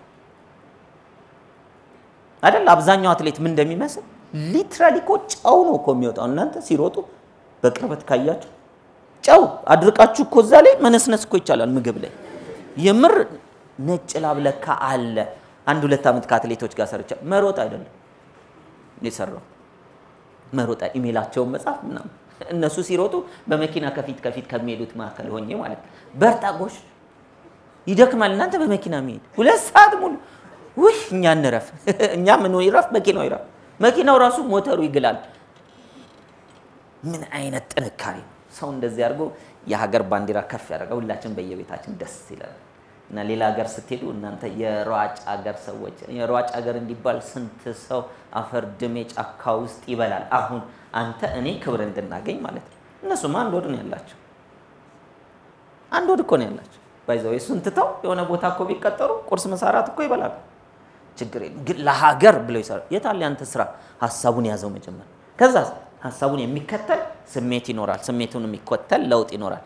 አቲቲዩድ ቅድም አቲቲዩዳችሁን አይደል የመለሳችሁ? የመጀመሪያው ጥያቄ subconscious mind ውስጥ ያለውን መልስ መልሷል። ያ መልስ 88 percent power አለው። በዛ ውስጥ እንድትኖር እንድትኖሪ ለዘላለም ያደርግሃል ያደርግሻል። Until you change እስክትቀይሪው እስክትቀይረው ድረስ now paradigm ኣችን ያለው እዛ ነው። ስለ ህይወት ያለን paradigm እይታችን እዛ ውስጥ ነው ያለው። እይታ ከዚህ በፊት በነበረው ነገር በማስረጃ ሊሆን ይችላል። በማስረጃ ስለሆነ እውነት ነው ማለት አይደለም። እይታ የሚቀየር ነው። የማትፈልገው እይታ በህይወትህ ተገልጧል። አዎ፣ ወደምትፈልገው መጀመሪያ ምኑን ቀይረው? ሀሳቡን። እንዴት? ይሄ ስልጠና ይነግረናል። ከዜሮ እስከ ስምንት ዓመት ይሄ subconscious mind በእንደዚህ አይነት ፕሮግራም ይሆናል። ከ subconscious mind ውጭ ያሉት ምን ይባላሉ? Unknowns ይባላሉ። የማይታወቁ subconscious mind የማያውቃቸው ፍቅርን ሊሆን ይችላል፣ ላያውቅ ይችላል። Subconscious mind ሀብትን ሊሆን ይችላል፣ ላያውቅ ይችላል። Subconscious mind ጽድቅን ሊሆን ይችላል፣ ላያውቅ ይችላል። Subconscious mind የተትረፈረፈ ገቢ ሊሆን ይችላል። Organization መክፈት ሊሆን ይችላል። ትልልቅ ድርጅቶችን ባለቤት መሆን ሊሆን ይችላል። Masters PhD መያዝ ፕሮፌሰር መሆን ሊሆን ይችላል። Subconscious mind ውስጥ known ላይሆን ይችላል። Knowledge አይደለም የምለው programming ሆኖ ላይሆን ይችላል። ያ እንዳለ አንኖን ነው። Unknowns are your emotional pain። ሀብት emotional pain ህ ሊሆን ይችላል። ጽድቅ emotional pain ህ ሊሆን ይችላል። ትፈልጋለህ መጽደቅ፣ ነገር ግን የጽድቅ ስራን ለማድረግ ሁል ጊዜ እየታገላችሁ ከሆነ አለቀ። It's painful for your subconscious mind to be blessed blessed ለመሆን ይቸገራል። ለምን known አይደለማ፣ እውቅና አልተሰጠውም። ስለዚህ እውቅና እንዲሰጠው ለማድረግ በዚህ ስልጠና ውስጥ የምናያቸውን ነጥቦች እናደርጋለን። ከ8 እስከ 12 ዓመት critical mind በሚባል subconscious mind ኣችን ይዘጋል፣ ወይም ደግሞ filter ማድረጊያ ይኖረናል። ከዚህ በኋላ ዝም ብሎ የመጣ ሁሉ ምን አናረግም፣ እንደ ድሮ አናስገባም። ከዚህ በኋላ ምን እናደርጋለን? እያጣራን ውስጥ ካለው data ጋር ተመሳሳይ ሀሳብ ከሆንክ ትገባለህ። ካልሆነስ ካልሆነ ግን እኛ አይደለንም እያልን እንመልሳለን የሚል ምን ይኖረናል? Filter ይኖረናል። ከእድሜ 8 እስከ 13 ከእድሜ ከ13 እስከ 17 ደግሞ ምን አይነት ነገር ይፈጠራል? Conscious mind ሰው ከተወለደ በኋላ እስከ 17 ዓመት ድረስ የተሟላ ሰው አይደለም። ለዚህ ነው በቤተሰብ ቁጥጥር ስር የሚሆን። እኛ ሀገር ግን 37ም መሆን አስቸጋሪ ነው። ለምን እማዬ እያለ ቤት የሚገባ ሰው ከዚህ ጀምሮ አሁን እጅ አላስወጣም እንጂ ከ18 ዓመት በላይ ማዘርጋ 17 ዓመት አንድ ዓመት ማለት 365 ቀን ነው። ቁርስ፣ ምሳ፣ እራት ስታባዙት አንድ ሺህ ነው። አንድ ሺህ ሳህን ቁጭ ብሎ በልቷል። ሲባዛ በአስር አስር ሺህ ሳህን ከዛ 18 ሀያ ሞልቶታል። ስለዚህ ስንት ሆነ? ሀያ ሺህ ሳህኖች በእናንተ ምክንያት ታጥበዋል። ተዉት ምግቡ ስለመታጠባቸው ብቻ Twenty thousand ሳህን ዛሬ ቤት ግቡና እዚህ ቤት ሀያ ሺህ ሳህኖች ስለፈጀው በእውነት በጣም ተሰምቶኝ ከዛሬ በኋላ ሳህን ከመፍጀት ለብዙዎች የሳህን መፍጃ እድል ወደ መፍጠር እቀየራለሁ የሚል ሀሳብ ካልያዝ ቤት ገብተህ mother father እያልክ አርባ ዓመት አንድ ፊልም አይቻለሁ። ማን ነው ስሙ የሚሰራው በአርባ ዓመቱ እማዬ እያለ የሚገባ ማለት ነው። ፊልሙ እንዳይመስላችሁ የኔና የናንተ ህይወት ነው። ፊልም መቼ ነው ወይን መቼ እኛ ኢትዮጵያ ውስጥ ያው እንደምታውቀው ስራ የለም። ስራ እንዴ ሆድህ ካለ responsibility እዛ ውስጥ አለ። ሆዴን የመቻል ኃላፊነት ስጠኝ የሚል ጸሎትህ የት አለ? ጸሎትሽ የት አለ? ወይስ ካናዳ ይዝነብ ለእናንተ ወላጆቼን ረጅም እድሜና ጤና ስጥልኝ፣ እነሱን ጠብቅልኝ እያላችሁ ለምን ሆዳችሁን እንዲሞሉላችሁ። ከዚህ ወዲያ ጸሎት ስታደርጉ ለቤተሰብ ልትበሏቸው ይሁን ወዳችኋቸው ይሁን ተጠራጠሩ። subconscious mind motivated የሚሆነው ምናልባት free lunch በማግኘቱ ሊሆን ይችላል። I don't know ግን ጠርጥሩ። ስለዚህ change conscious mind አችን power አለው። ምን አይነት power? ቅድም ያልኳችሁ will power፣ የፈቃድ ኃይል። ኃይሉ ስንት ነው? 12 በመቶ። የፈቃድ ኃይል ከዛሬ ጀምሮ ራሴን የመቻል ስትሉ 12 በመቶ ኃይል ቡራ ከረዮ ይላል። እቅድ ያወጣል። መከረኛ መስከረም መጥቷል። አዲስ ዓመት እቅድ እናወጣለን። በዘንድሮ እንለወጣለን። አዲስ ነው transformation። ዘመድ የለ ምን የለ አንሰማ። ጥቅምት ላይ ተመልሰን የት ነን? ወደ ቀድሞ ነገር ተመልሰናል። የነበረው እቅድ እናወጣለን፣ ተመልሰን ወደ ድሮ። ማን ነው ግን የሚጠላለፈን ሲባል subconscious mind ውስጥ ነውን አልሆነ subconscious mind፣ conscious mind፣ critical mind ብታውቀውም የራስ mind ነው፣ ባታውቀውም የራስ mind ነው። እንዴት እንደሚጫወትብህ አይተህ ለመቀየር መሞከር ኃላፊነት ይመስለኛል። You need to change። ስለዚህ 12 percent power will ፈቃዳችን እዛ ውስጥ ነው ያለው። logic logic አችን ያለው እዚያ ውስጥ ነው። ወይም ደግሞ አመክንዮ የምንለው choice፣ ምርጫ፣ decision ውሳኔ ያለው እዛ ነው። ለዚህ ነው ብዙ ውሳኔ እየወሰንን ከውሳኔያችን against የምንኖረው። ስንት ነገር እየወሰናችሁ ከዛሬ በኋላ የይቅርታ ሰው ሆኛለሁ ብላችሁ ወስናችሁ አታውቁም? ከዛስ የሆነ ቀን አንዱ መጥቶ ትዕግስታችሁን አላስጨረሰው እንዴ ይቅርታ ሰው ስላለን አልበዛም እንዴ ብለን ያጠራቀመውን ሁሉ አልደረማመስ ነው። ከዛሬ በኋላ 11 ሰዓት እነሳለሁ። የ11 ሰዓት የመነሳት የብዙ ሰው ጥያቄ እና አንዳንድ ሰው 11 ሰዓት ለመነሳት ብዬ ተኛ። ማታ ነው ማምሸት የምትችለው፣ ተኛ ጠዋት። ከዛ ደስ ይለዋል እና ማታም ደግሞ አያመሽም። እሱ ተጋደም ነው ወይ ማታ አምሽ ወይ ጠዋት ላይ ተነሳ፣ ከሁለት አንዱ። እሱንም habit ነው መቀየር ትችላለህ። አዎ እንዴት? አትታገል፣ ውሳኔ ወስን፣ will power ህን ከፈቃድ ጋር አድርገው። ከዛ አስተሳሰብን ቀይረው። እንዴት እንቀይረው ነው አሁን step by step የምናየው እሱ እንዴት እንቀይር? ለመቀየር ለመቀየር ከ conscious mind ያለን ውሳኔ ፈቃዳችን logically አመዛዝን ይህን ነው የምፈልገው ያላችሁት ሁለተኛ ላይ የጻፋችሁት ፍላጎት አይደል? ፍላጎት የጻፋችሁትን subconscious mind ውስጥ እንዲገባ ማድረግ ያስፈልጋል። ግን እንዲገባ critical mind ምን ያደርጋል? ከ conscious mind ይወስዳል። እንዲህ እንዲቀየራሉ ፍላጎቴ ይሄ ነው ስትሉ ያመጣና ፍላጎታችንን check ከፍላጎታችን ጋር የሚነጻጸር ኖን አንዳችን ነገር ያጣል። ስለዚህ ምን ይላል? ይሄ ነገር እዚህ ቤት አይደለም፣ ሌላ ቤት ፈልጉት እዛ። አሁን በሰውኛ ላውራችሁ ብዬ ነው። ግን ምን ያደርጋል? feeling ነው የሚሰጠው። reject ያደርጋል። እቅድ አውጥታችሁ ጀምራችሁ ታቋርጣላችሁ። ስፖርት ጀምራችሁ ታቋርጣላችሁ። ከሰዎች ጋር ታርቃችሁ ተመልሳችሁ ትጣላላችሁ። እቅድ አውጥታችሁ በፕሮግራም መመራት ብላችሁ ሳምንት ሁለት ሳምንት ሰሩና ከዛ ከፕሮግራም ውጭ ትሆናላችሁ። ምናልባት ከዚህ በኋላ አላኮርፍም ትሉና ሰዎችን ፈገግ እያላችሁ ትጀምሩና ከአስር ቀን በኋላ ይከብዳችኋል ፈገግ ማለት። ምን ነው ሸዋ ብላችሁ ተመልሶ ወደ ማኩረፍ ትገባላችሁ። አለቀ። ብዙ I don't ምን ጀምራችሁ እያቋረጣችሁ እንደሆነ ሰው እንዴት ነው ተመሳሳይ ስህተት የሚደጋግሙ? ዝንብ እንዴት ነው አይታችኋል? በመስተዋት ሊወጣ ሲል መልሶ መልሶ ይጋጫል። ቆም ብሎ አያስብም ብለን እንረግመዋለን። ዝንቡ እኮ አንተና እኔ ነን። እሱ ምናልባት ፊዚካሊ ነው የተጋጨው። አንተ ከሀሳብ ጋር በየቀኑ እየተጋጨ አይደለም እና የእሱን አካል መጋጨት አይተ ከዛ እዛ ሲሞት አይተ ዝንቦች ግን አያስቡም ይላል። ይሄ ገምጋሚው ራሱ እኮ አያስብም። አንተ የታለ የተቀየርከው? ስንት ነገር አስበህ አቅቶ ተጋጅተ ተጋጅተ ቆመሃል። ስንት ነገር ለመድረስ እምቢ ብሎ በቃ ይሄ ነገር አይሆንም ብለህ ትተሃል። ግን subconscious mind ን ተጠቅመህ መለወጥ ስትችል ማለት ነው። ያንን ለማድረግ critical mind አመዛዝ ነው። ከዚህ በኋላ ከውስጥ ያለውን ብቻ ስለሚያስኖረን critical mind ክፍት ሲሆን filter ማድረግ ሲያቆም ነው ፕሮግራም የሚደረገው። በጣም የሚገርመኝ የፈጣሪ ስራ second chance ሰጥቶናል። አለበለዚያ በቃ በጣፈንታ ውጪ subconscious mind ውስጥ ባለ programming ትኖራታለህ ነበር። የሰው ልጅ alpha state ውስጥ በሚሆንበት ጊዜ alpha state ማለት አሁን ያላችሁበት beta state ነው። ከ beta state ወደ alpha state mind wave አችሁ እየቀነሰ ሲመጣ which is እየደከማችሁ ሲመጣ ማታ ልትተኙ ስትሉ ምን ይሆናል? critical mind filter ማድረጉን ያቆማል። በዛ ሰዓት ላይ የምታዩት ነገር ሁሉ ልክ እንደ ህፃን ድጋሚ record መደረግ ይጀምራል። ፊልም ሊሆን ይችላል፣ social media ሊሆን ይችላል የምታዩት፣ ህልማችሁን ሊሆን ይችላል የምታዩት፣ ፍላጎታችሁን ሊሆን ይችላል፣ ንዴታችሁን ለሰው እያወራችሁ ሊሆን ይችላል፣ ወዘተርፈ በዛ ሰዓት የምታዩት የምትሰሙትን እንደ ህፃን ልጅ ፕሮግራም መደረጊያ ሰዓት ነው። ለዚህ ነው social media በጣም ብዙ ክፋት እያመጣ ያለው። ብዙ ሰው ማታ ነው ቁጭ ሲል ምናምን ሲረጋጋ ምን የሚያደርገው ወደ social media የሚገባው። በዛ ምክንያት social media ላይ ያየውን ነገር እውነት ነው ብሎ ያምናል። ለዛ ጊዜውን፣ ገንዘቡን፣ ጉልበቱን፣ energy ውን፣ ሀሳቡን ይቀልባል። በኦንላይንም አንዳንድ physical፣ አንዳንድ ሰው በአካል ወጥቶ ሰው ዘቅዝቆ ለመስቀልም ዝግጁ ይሆናል። ስለዚህ እኔና እናንተም እስከ ዛሬ ድረስ የተጠበቅነው እድሉን አተን ነው እንጂ ማታና ጠዋት ጠዋትም ስትነሱ እንደዚህ ነው። alpha state ውስጥ የምትሆኑበት ጊዜ you're suggestible። suggestible ማለት በዛች ሰዓት የሚያየውን የሚሰማውን ነገር mind አችን ፕሮግራም ያደርጋል። ስለዚህ spiritually speaking ጠዋት ስትነሳ ምን አድርግ ይባላል? ጸልይ አይደል? አመስግን። ማታም ስትተኛ ምን አድርግ? ጸልይ፣ አመስግን። ጸልይ ማለት ለምን ማለት አይደለም። ከፈጣሪ ጋር ሁን፣ ከአንተ ጋር ነኝ ብለህ ወስን።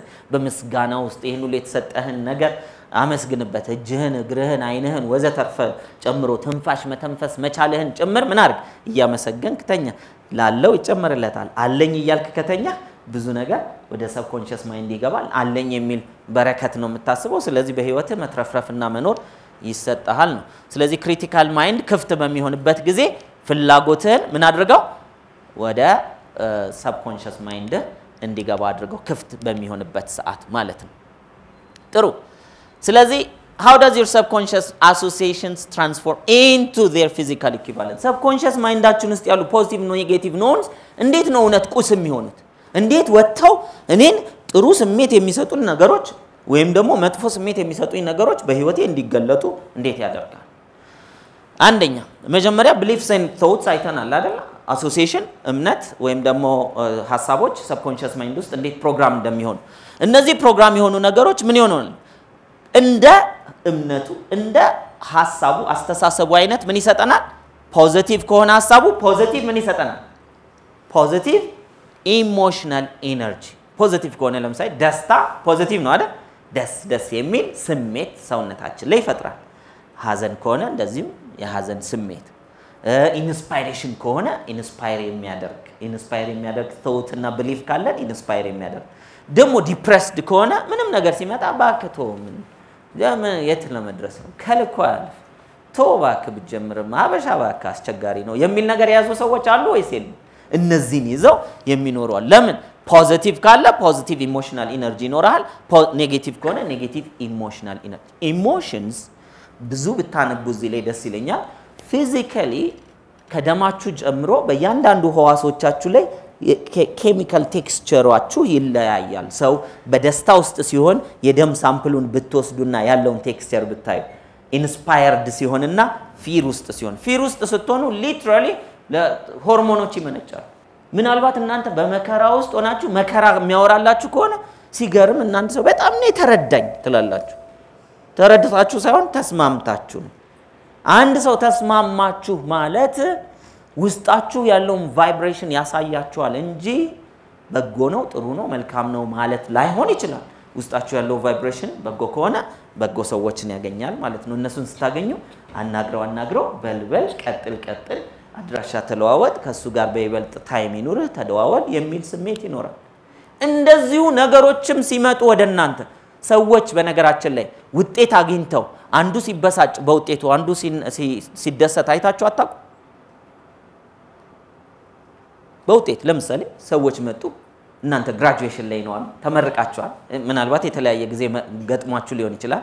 የ graduation ceremony ኣችሁ ነው። ሁለት ሰዎች መጡ። አንድ ምስኪን ደሃ ናቸው። እንደምንም አድርገው frame አሰርተው እናንተ የምትወዱትን አይነት ፎቶ በሉት ምናምን በእንትን አሽገው በስጦታ ወረቀት አሽገው ልጄ እንግዲህ ይህች ነች ያለችኝ ብለው ሰጡ። ከፍታችሁ ስታዩት በጣም ደስ አለ። ወይኔ ከሌላቸው ላይ ነው ይህን የሰጡን ምናምን በጣም ደስ አላችሁ፣ በጣም በስጦታው። ከዛ አንድ ሌላ ሰው መጣ። እሳቸው ምናልባት ለዛ ያወጡት አንድ ሺህ ብር ሊሆን ይችላል። አንድ ሌላ ሰው መጣ። አጎታችሁ ነው፣ መልቲ ሚሊዮነር ነው፣ አንድ 13 ፎቅ አለው። ከዛ በኋላ መጣ አምስት ሺህ ብር ያው ጊዜ የለኝም እንግዲህ እቺን አንዳንድ ነገር የምትፈልገውን ግዛበት ብሎ አምስት ሺህ ብር ሰጣችሁ። expectation ኣችሁ የ50 ሺህ ብር የ100 ሺህ ብር ነገር ምናምን ነበረ። የእናንተ የገዛ expectation ኣችሁ የገዛ በሽታችሁ 50 ሺህ እና 100 ሺህ ነበረ።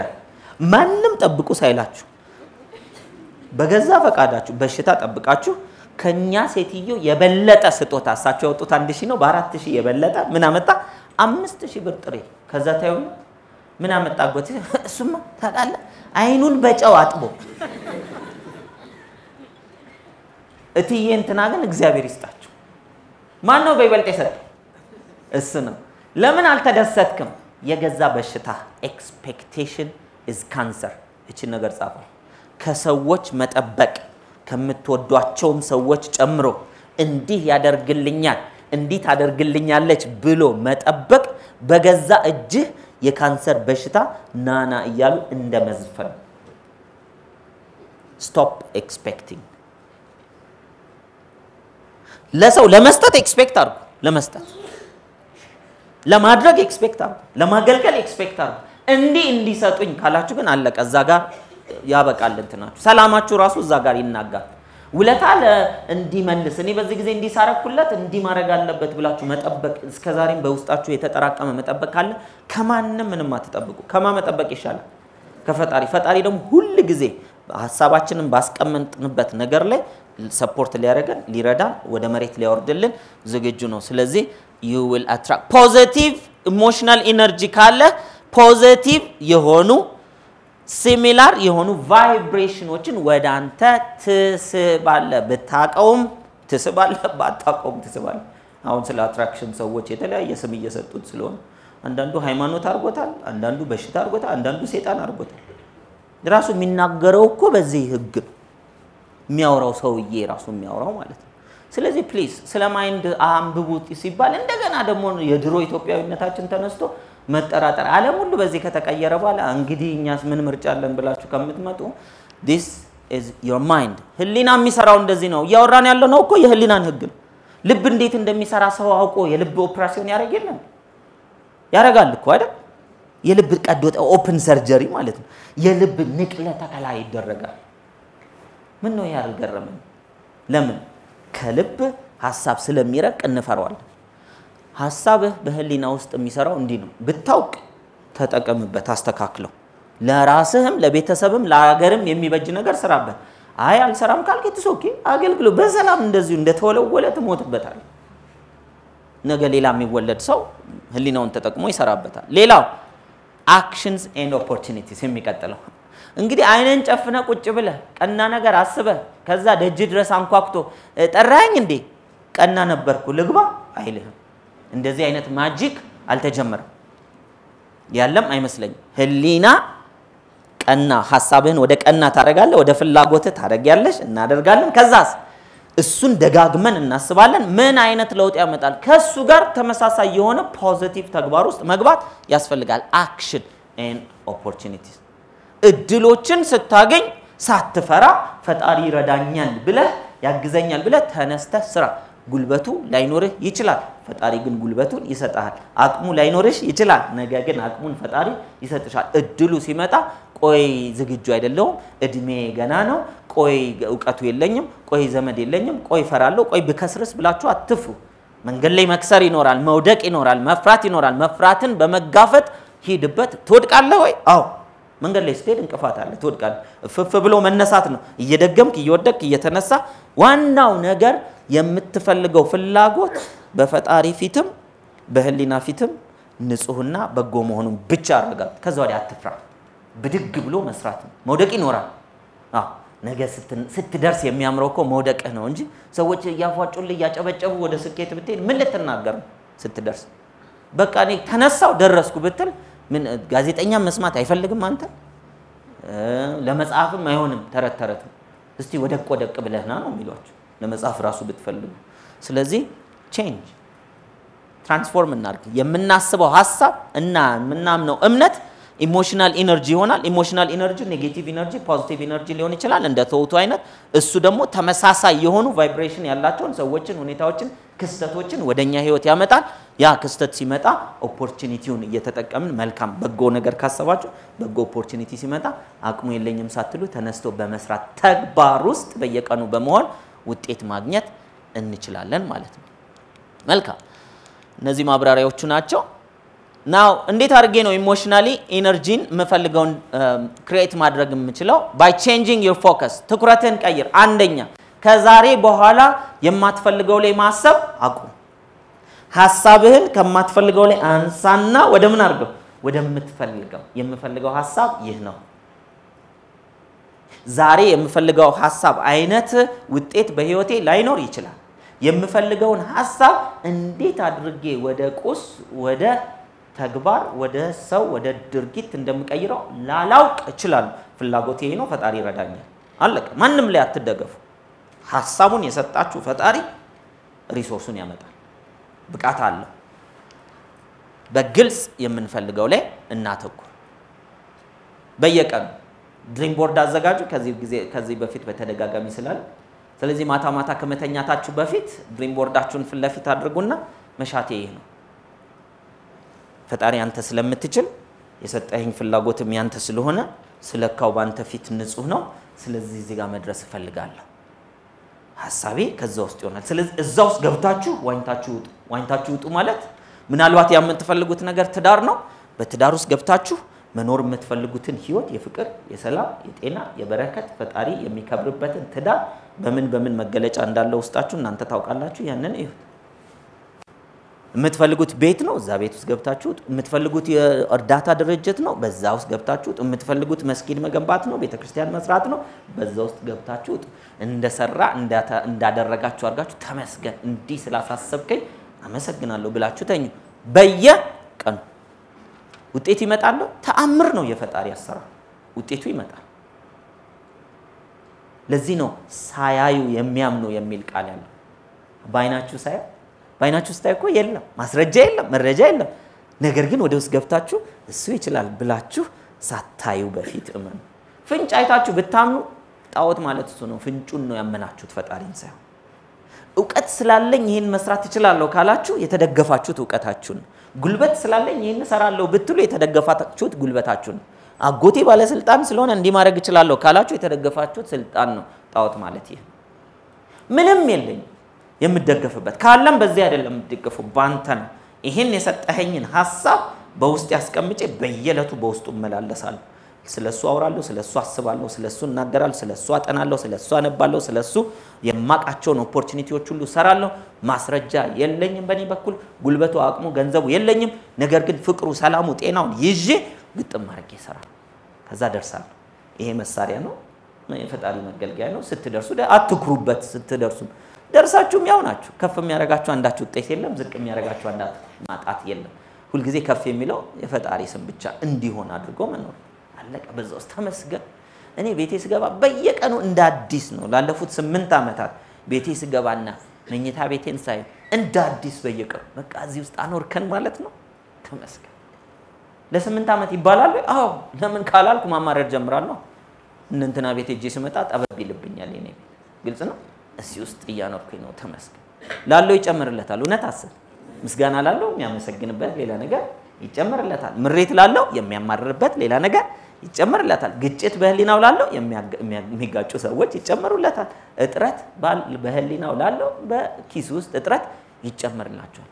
ላለው ስለሚጨመር በህሊናችን ውስጥ ያለንን ነገር ማስተካከል እንድንችል የምንፈልገውን በጎ ነገር ብቻ በግልጽ እናስቀምጥ። በየቀኑ በህሊናችን እየገባን እንውጣ። ፊት ለፊት ላይ እንስቀል። መኝታ ቤቴ ይሄ ያለ አሁን እያወራችሁ በህሊና እያየሁት መኝታ በየአመቱ ቀይሯል። ሲሳካ ጎሽ ይሄ tick tick tick ተደርጓል።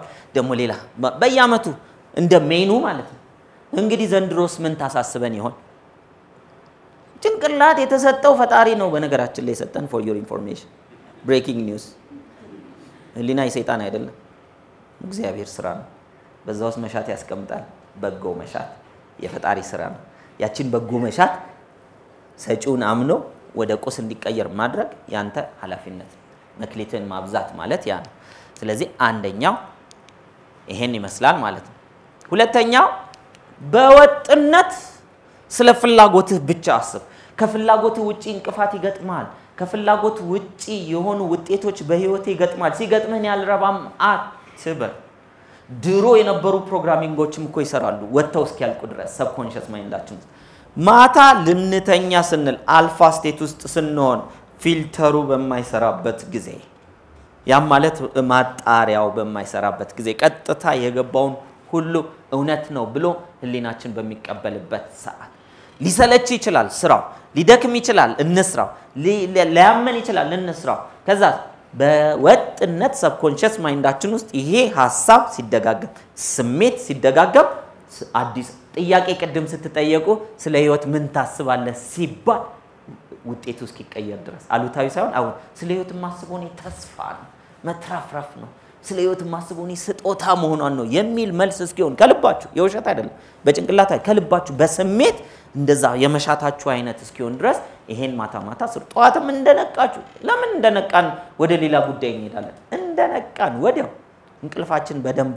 እንትን ሳንል ማለት ነው ወዲያው ወደ ምስጋና ስለ- እያንዳንዱ የሰውነት ክፍላችን ማመስገን፣ ስለ ጣት ያመሰግናለሁ፣ ስለ ጥፍሬ ያመሰግናለሁ፣ ስለ አየሩ አመሰግናለሁ፣ ስለ ቤተሰብ ያመሰግናለሁ። wow ለመጀመሪያ ጊዜ ዛሬ ነቃን። ዛሬ ባይዘው ወይ ቅዳሜ ለመጀመሪያ ጊዜ ነው አይደል በህይወታችን የነቃን። ዛሬ ከትላንት ወዲያ ነቅተሽ ታውቂያለሽ?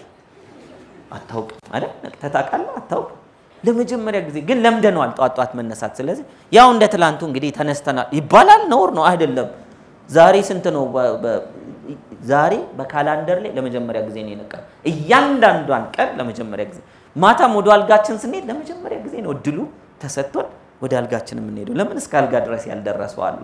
ስለዚህ በምስጋና ውስጥ ስንኖር ይሄ ሰው አለው ተብሎ ምን ይሆናል? energy ያችን እንዳለ positive ስለሆነ ያለው ነገር ነው የሚጨመርልን ማለት ነው። ማጣት የሚባል ቀስ በቀስ አንድ አመት እስኪ እንደዚህ ስሩት።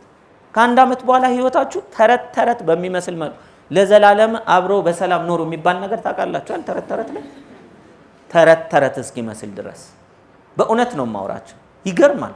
እቺ ለውጥ እችን ለመለወጥ ግን ብዙ ሰው ያስብበታል። ቆይ ይሄ ነገር ክፉ ሊሆን ይችላል፣ ይሄ ነገር ሃይማኖት ሊሆን ይችላል፣ ጥሩ ማሰብ ምን ሊሆን ይችላል ሃይማኖት ሊሆን ይችላል ብሎ በጥንቃቄ ክፉ ነገር እያሰበ ይቀጥላል። face the music። መንገዱ ከተመቸ ሂድ፣ ቀጥል። ከተሳካልህ በዛ መንገድ ሂድ። ቀና የሆነውን በጎ የሆነውን መልካም የሆነውን የፈጣሪ የሆነውን እያሰብክ ዘወትር ስለሱ ቃል እያወጣ ተናገር ሲባል መፍራት ከዚህ በላይ ሰይጣን የለም እንደው። ስለዚህ focus on what you want consistently በወጥነት እናተኩር። በየቀኑ ማታ ማታ በምናባችን እኔ በየቀኑ ምን እናድርግ? የምንፈልገውን ጽሁፍ እንጻፍ። ማታ የመጻፍ ልምምድ ያላችሁ ካላችሁ ፍላጎታችሁን ጻፉ። ዛሬ እንትና የሰራችን ስራ ብሎ ከመጻፍ social media ላይ ገብቶ የሰው ስድድብ ከማየት social media አትዩ። ልትተኙ አንድ ሰዓት ሲቀራችሁ አራት ሰዓት የምትተኙ ሰዎች ከሶስት ሰዓት ጀምሮ electronic media አትዩ። ምንም ነገር ቢሆን አትዩ። ከራሳችሁ ጋር ሆኑ። መጸለይ ትችላላችሁ። በጎ የሆኑ የሃይማኖት መጻሕፍት አሉ፣ ማንበብ ትችላላችሁ። በጎ የሆኑ የምለው በምክንያት ነው። ዘንድሮ የማይታተም ነገር ስለሌለ ማለት ነው። ቅዱስ ቁርአን ሊሆን ይችላል፣ መጽሐፍ ቅዱስ ሊሆን ይችላል። እሱን አንብቡ። ትሁት ያደርጋችኋል፣ መልካም ያደርጋችኋል፣ ፈጣሪን ያወቀ ሰው እንድትሆኑ ያደርጋችኋል፣ በራሳችሁ ግብዝ እንዳትሆኑ ያደርጋችኋል።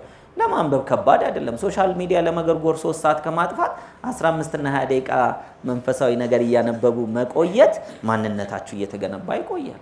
በጎ ይሆናል። ከመጥፎ ነገር የራቅን ሰዎች መሆን እንችላለን። ስለዚህ consistently የምንፈልገው ነገር ላይ እናተኩር።